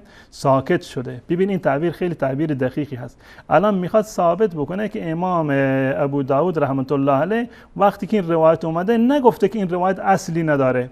ساکت شده. درست. بحث تواتر یک بحث جداگانه هست. بحث تواتر یک بحث خیلی بعدی هست. امام ابو داود وقتی که این روایت رو آورده ساکت شده چیزی نگفته. پس بنابراین چون که ساکت شده فهو عنده صالح معنیش این است که حتما این حدیث برایش قابل قبول هست. و هو كذلك این حدیث هم این گونه است. فان اسناده جید سند این حدیث در واقع چیکار هست؟ جید هست. با توجه به اقوالی که در واقع در مورد صفوان ابن سلیم یا سلیم در واقع ذکر شده با توجه ضعف و جرح و تعدیلی که در مورد اون شده که یک بحث سندی هست که من فعلا واردش نمیشم اگر نیاز باشه در جلسه دیگه اینو خدمت بینندگان عرض خواهم کرد فان اسناده جید و هو و ان کان فیه من لم یسمى اگرچه تعدادی در این حدیث نامشون گرفته نشده فانهم عده من اصحاب الصحابه اینا تعدادی از ابنای صحابه هستند. یبلغون حد التواتر که به تعداد تواتر می‌رسند. الذي لا یشترط فیه العدالت که در میان اونها عدالت چیکار شرط نیست. وقتی که به این تعداد برسیم. یک بحثی من در اینجا هست که این بحث اصل این بحثی که در اینجا اومده و این مثال مثال ضعیفی هست روایت ضعیفی که با کسرت طرق چیکار می شود قوی می شود روایت ضعیفی که اصلا ضعیف هست راویانش ضعیف هستند اما به خاطر طریق دیگری که دارد چیکار می شود یه مقدار قوی می شود و در مرحله حسن یا به صحیح لغیرهی در واقع می رسید اینو من خدمت بینندگان باز هم اینو توضیح خواهم داد. در اینجا میگه این سندش چیکار هست؟ جید هست. به چه دلیل؟ و هو و این کان فیه من لم یسمى گرچه در این سند افرادی هستند که نام نامشون ذکر نشده. از نظر قاعده حدیثی این مطلب رو بینندگان عزیز بدونن. اگر در یک حدیثی در سلسله سندش افراد مجهولی بود. افرادی بود که نام گرفته نشدن. این چیکار می شود این حدیث یکی از علامت های ضعف هست. این حدیث ضعیفه.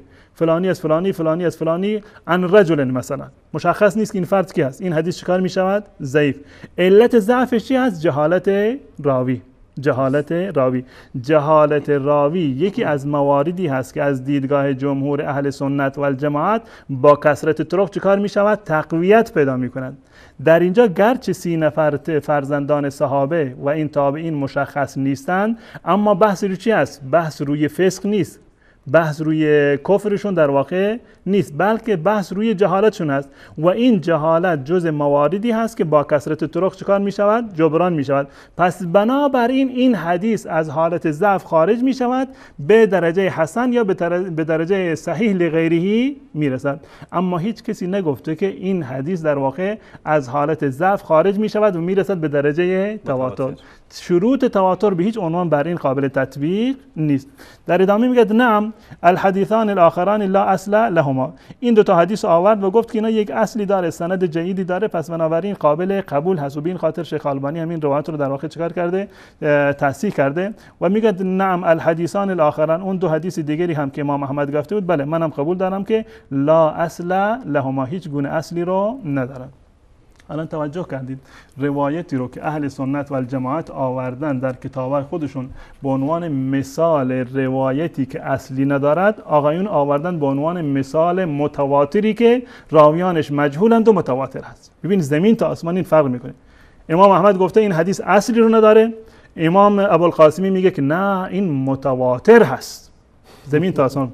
خب یک کتاب دیگر باز همین مطلب رو نمی‌دونم. وقتم کم مونده. خیلی کم مونده. ما تا این بیچاره اونجا که همین جمله رو دوستان نشون بدن این صفحه ای که ایشون نشون دادن اینجاست.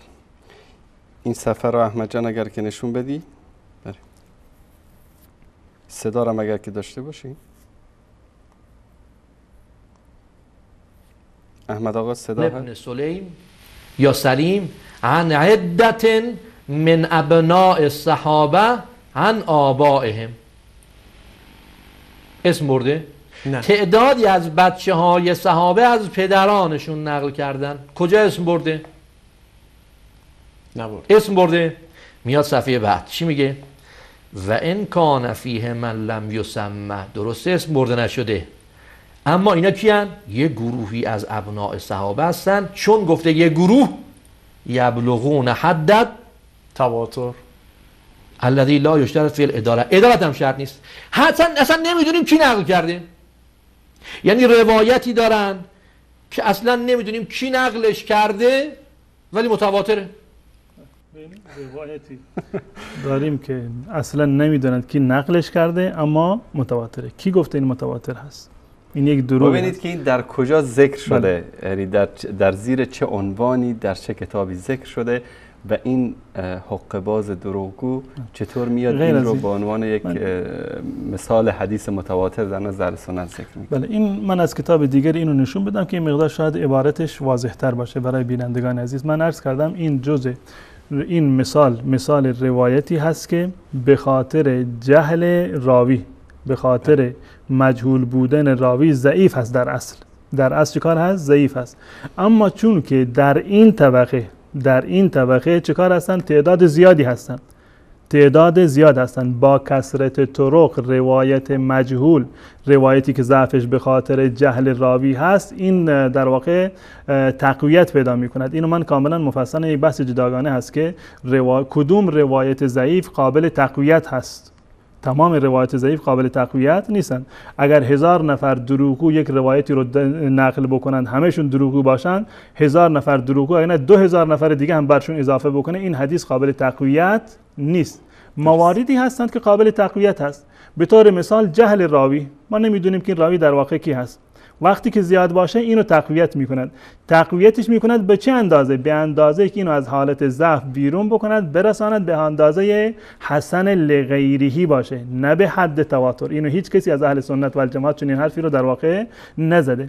این مثال ضعیفی هست که به خاطر جهل روات این روایت ضعیف هست اما به خاطر کسرت عدد و چی که در حد تواتر در این مرحله رسیده این ضعف چیکار شده؟ قابل چشم پوشی هست. درست. پس بنابراین گفتیم که سندش جید هست. امام ابو داود سکوت کرده در مقابلش. پس بنابراین گویا این حدیث رو قبول کرده و این حدیث صالح هست. یا برخی از علما گفتند که حسن هست یا حسن لغیری هست یا حتی مثلا در درجه صحیح لغیری هم در واقع رسیده باشه. قبل از اینکه شما اینو نشون بدید من همین صفحه مانیتور شبکه زلالت و این آخوند عاقبازی که اینو نشون میده. ببینید نوشته در صفحه مانیتورش که این قسمت احمد جان اگر زوم بکنید صفحه 437 همین جایی که داره این مطلب رو می‌خونه صفحه 437 فقط کافی است اگر اینا شهامت و مردانگی دارن در برنامه بعدیشون صفحه 434 رو بیارن. که عنوان این مطلب چی است؟ معرفت المشهور من الحدیث. و دقیقا در صفحه دوم همین مطلبی رو که شما خوندید از استاد از کتاب. بله. قول امام احمد رو خط دوم. بله اینجا. اربع احادیث تدور عن رسول الله صلی الله علیه وسلم في الاسواق ليس لها اصل. من بشرني بخروج آذر بشرته بالجنه و من عاد ذميا این چهار روایت رو کاملا توضیح داده یکی یکی نقد می‌کنه. ببینیم بازم یک روش جالبی در اینجا هست. این چهار روایت رو نقد می‌کنه از نظر سندی یعنی سندهاش رو نگاه می‌کنه تا اینکه به این نتیجه می‌رسیم. بله این سندش حسن هست یا اینکه سندش در واقع قابل قبول هست؟ یعنی چون که ضعیف هست ضعفش به خاطر چی هست؟ به خاطر جهل راوی هست یا به خاطر دروغ بودن راوی هست؟ نه به خاطر دروغ بودن راوی نیست. به خاطر جهل راوی هست. نام برده نشده. خب قاعده اهل سنت و جماعت هست. مفصلا من ان توضیح خواهم. راوی روایتی که ضعفش به خاطر جهل را- راوی باشد قابل تقویت هست. این از مرحله ضعیف خارج می شود به حسن لغیریه یا صحیح لغیریه در واقع می رسد خب کتاب الاجوبه المرزیه فيما سئل السخاوی عنه من الاحادیث النبویه که روایاتی که و حدیث هایی که از سخاوی در موردشون سوال شده. سخاوی نظر خودش در این روایت در مورد این روایات گفته تعلیف حافظ شمس الدین محمد ابن عبدالرحمن سخاوی هست. این جز جلد اول این کتاب هست و صفحه 16 این کتاب. شماره سه. این حدیثی هست که از ایشون سوال کردن من آدا ذمین فانا خصم نظر در مورد این روایت چی هست؟ همون مطلب را گفته. رواه ابو داود. این روایت رو ابو داود نقل کرده. به نحوهی مانند همین روایت یا مشا... به مشابه این روایت در کتاب الخراج من سننه عن سلیمان ابن داود. ابن مهران عن ابن وهب عن ابی صخر المدنی. این ابو صخر مدنی قبلا من ببخشید من اشتباه گفتم در مورد صفوان ابن سلیم من گفتم در مورد ابی صخر ابی صخر مدنی اختلاف وجود داره که آیا ثقه هست یا ثقه نیست. به این خاطر چون که این راوی در واقع مختلفی است که بحث سندی هست. از صفوان ابن سلیم این آورده ان عدت من اصحاب رسول الله همین روایت در اینجا آمده. و اسناده لا بأس بهی. ببینید در اونجا اون در کتاب اشرز الفیا گفته بود که اسنادو حسنان نظر اون بنده خدا این بود که اسنادش حسن است. در اینجا هم گفته اسنادو لا بأس بهی قابل چشپوشی هست.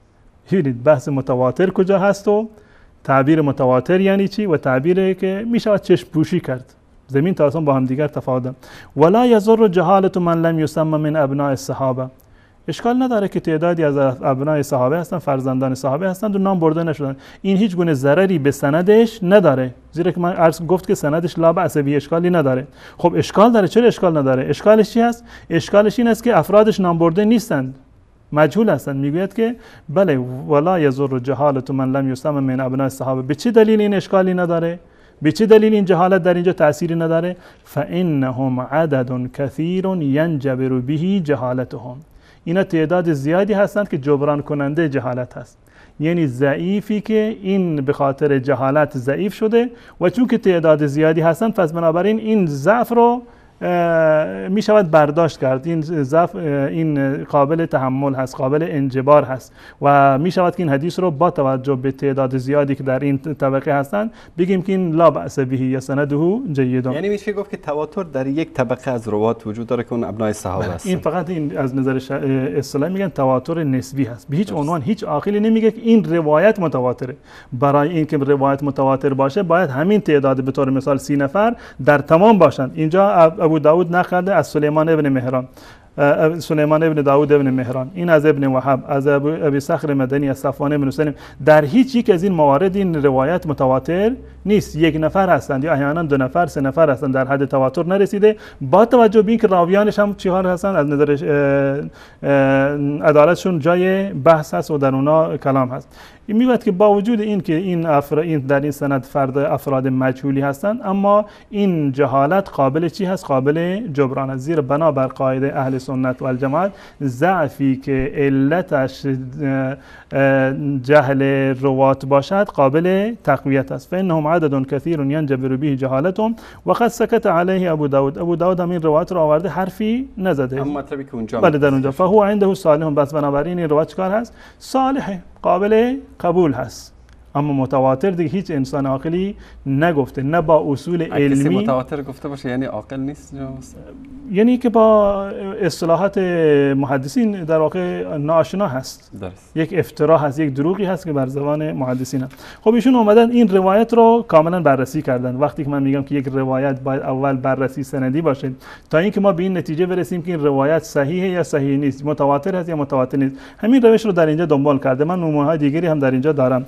در اینجا میاد و قلت فی الباب عن عبدالله ابن عمرو. میگه در این مورد روایت دیگری اومده از عبدالله ابن عمرو اومده جابر اومده ابی بکر اومده ابی هریره اومده. دوباره یکی یکی این روایت رو چیکار می‌کند؟ ذکر می‌کند.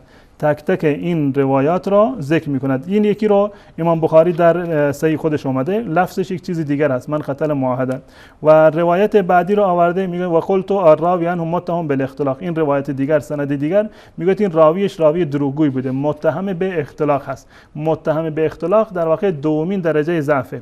یعنی پایین ترین درجه ضعف در یک روایت این است که راویش در واقع حدیث پرداز باشه جاهل حدیث باشه. دروغگویی باشه یعنی. نه دروغی یک مرحله در. واقع یعنی بهتری هست.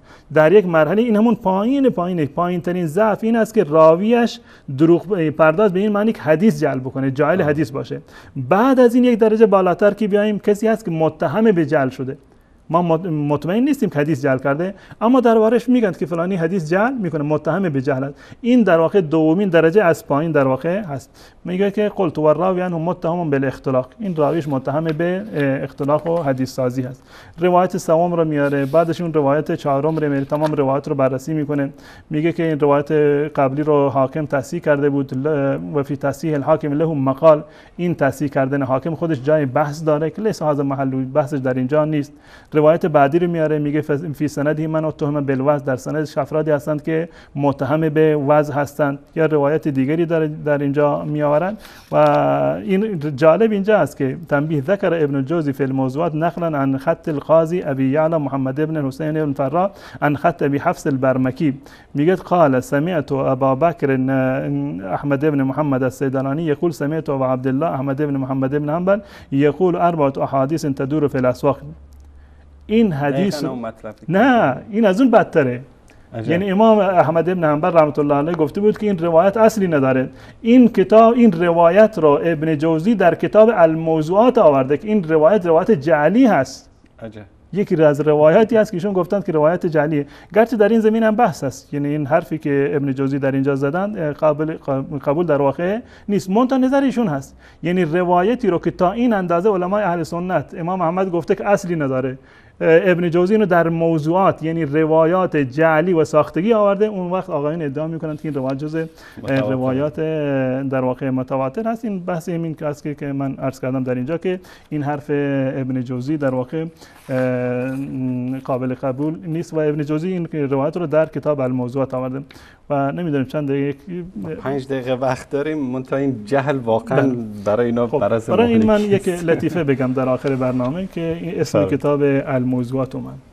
که من دیدم واقعا یعنی جای یعنی واقعا من متعجبم از این که یک فرد عالم یک کسی یک فردی که مدعی علم و درایت هست چگونه در واقع وجدان خودشون رو زیر پا می‌گذارند؟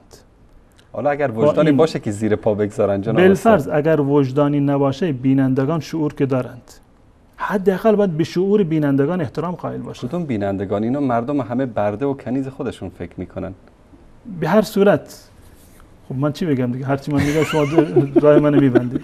به هر صورت من عرض می‌کنم این طرح غیر علمی طرح مسائل به صورت غیر علمی و غیر اصولی و متضاد با اخلاق و متضاد با اخلاق و تعهد علمی و دینی و شرعی که ما داریم این بزرگترین ضربه را به خود اون فرد می‌زند و به مذهبی که نمایندهش هست. درسته که در یک فردی در یک جای مثلا چند نفر بی سواد نشسته و آدم به و چهچه این بکنن که به به عجب جوابی دادن. خب جواب دوباره جواب داره. واقعیت مشخص میشه. در این وسط کی ضربه را می‌بیند؟ وجهه خود همین فرد و مذهبی که در واقع نمایندگیش می‌کنه من واقعا یعنی نمی‌تونم تصور بکنم که یک فرد عالم تا این اندازه تنزل بکند و این اندازه هم وجدان خودش رو زیر پا بگذارد و هم شعور بینندگان رو در واقع بهشون احترام نگذارد و به هیچ عنوان ولی متاسفانه اتفاق افتاده داره لطیفه اتفاق در واقع؟ بله لطیفه همین کتاب الموضوعات که احیانا دیدیم که استاد این آقایون از کتاب از ضعفای اوخیلی مثلا یا از کتاب دیگری که اهل سنت و الجماعت دارن ابن از حبان. مجرو- مجروحین ابن حبان. از این روایت زیاد میارن بله نمی‌دونم یا فلانی. لسان المیزان. بله در در ال نمی‌دونم از ضعفا این کتاب را آورده. از ضعفا و المتروکین این حدیث اومده. خب اسم کتاب رو نگاه کن. اسم کتاب هست زبالدانی روایات جعلی. خب این از زبالدان پیدا کرده برای من معتبره. این کتاب این موضوعات هم این گونه است. کتاب الموضوعات ابن جوزی مجموعه روایاتی است که جعلی هست. ساختگی هست و به هیچ عنوان قابل قبول نیست. یعنی اصلا حدیث نیست. دروغ بستن به نام پیغمبر. میگن که یکی از خلاصه آخوندی سر منبر یا هر صورت ملای اه، یکی از علما پای منبرش می‌رفت می‌بیند که این آقا همیشه وقتی که حدیث بیان می‌کنه روز جمعه همش روایت جعلی میاره. تمام روایاتی که میاره روایات جعلی دروغین افترا و اتهام و افترا به نام پیغمبر هست. یک روزی جلوش گرفت که فلانی این روایاتی که تو میگی حدیثایی که سر منبر بیان می‌کنی اینا همش دروغه. اصلا حدیث نیست. به نام پیغمبر اینا رو ساختند. این چه وضعی که تو همیشه هر جمعه که من میام تو داری موعظت همه از اینه میگه نه من اتفاقا اینا رو از کتاب آوردم. من کتاب دارم. میگه کتاب چیه؟ میگه بله من یک کتاب خیلی خوبی دارم به نام الموضوعات و این کتاب موضوعات مختلف علمی رو در اینجا جمع کرده. موضوعات و در واقع در هر زمینه که بخواید در این کتاب موضوع هست. خب کتاب الموضوعات یعنی روایات جعلی و ساختگی. این بیچاره علمش به همین اندازه بوده. فکر کرده الموضوعات یعنی موضوعات جمع موضوع. جزء موضوعات. و خوشش هم اومده که موضوعات خیلی مختلفی در این کتاب اومده و اینا رو برای مردم در واقع بیان کرده.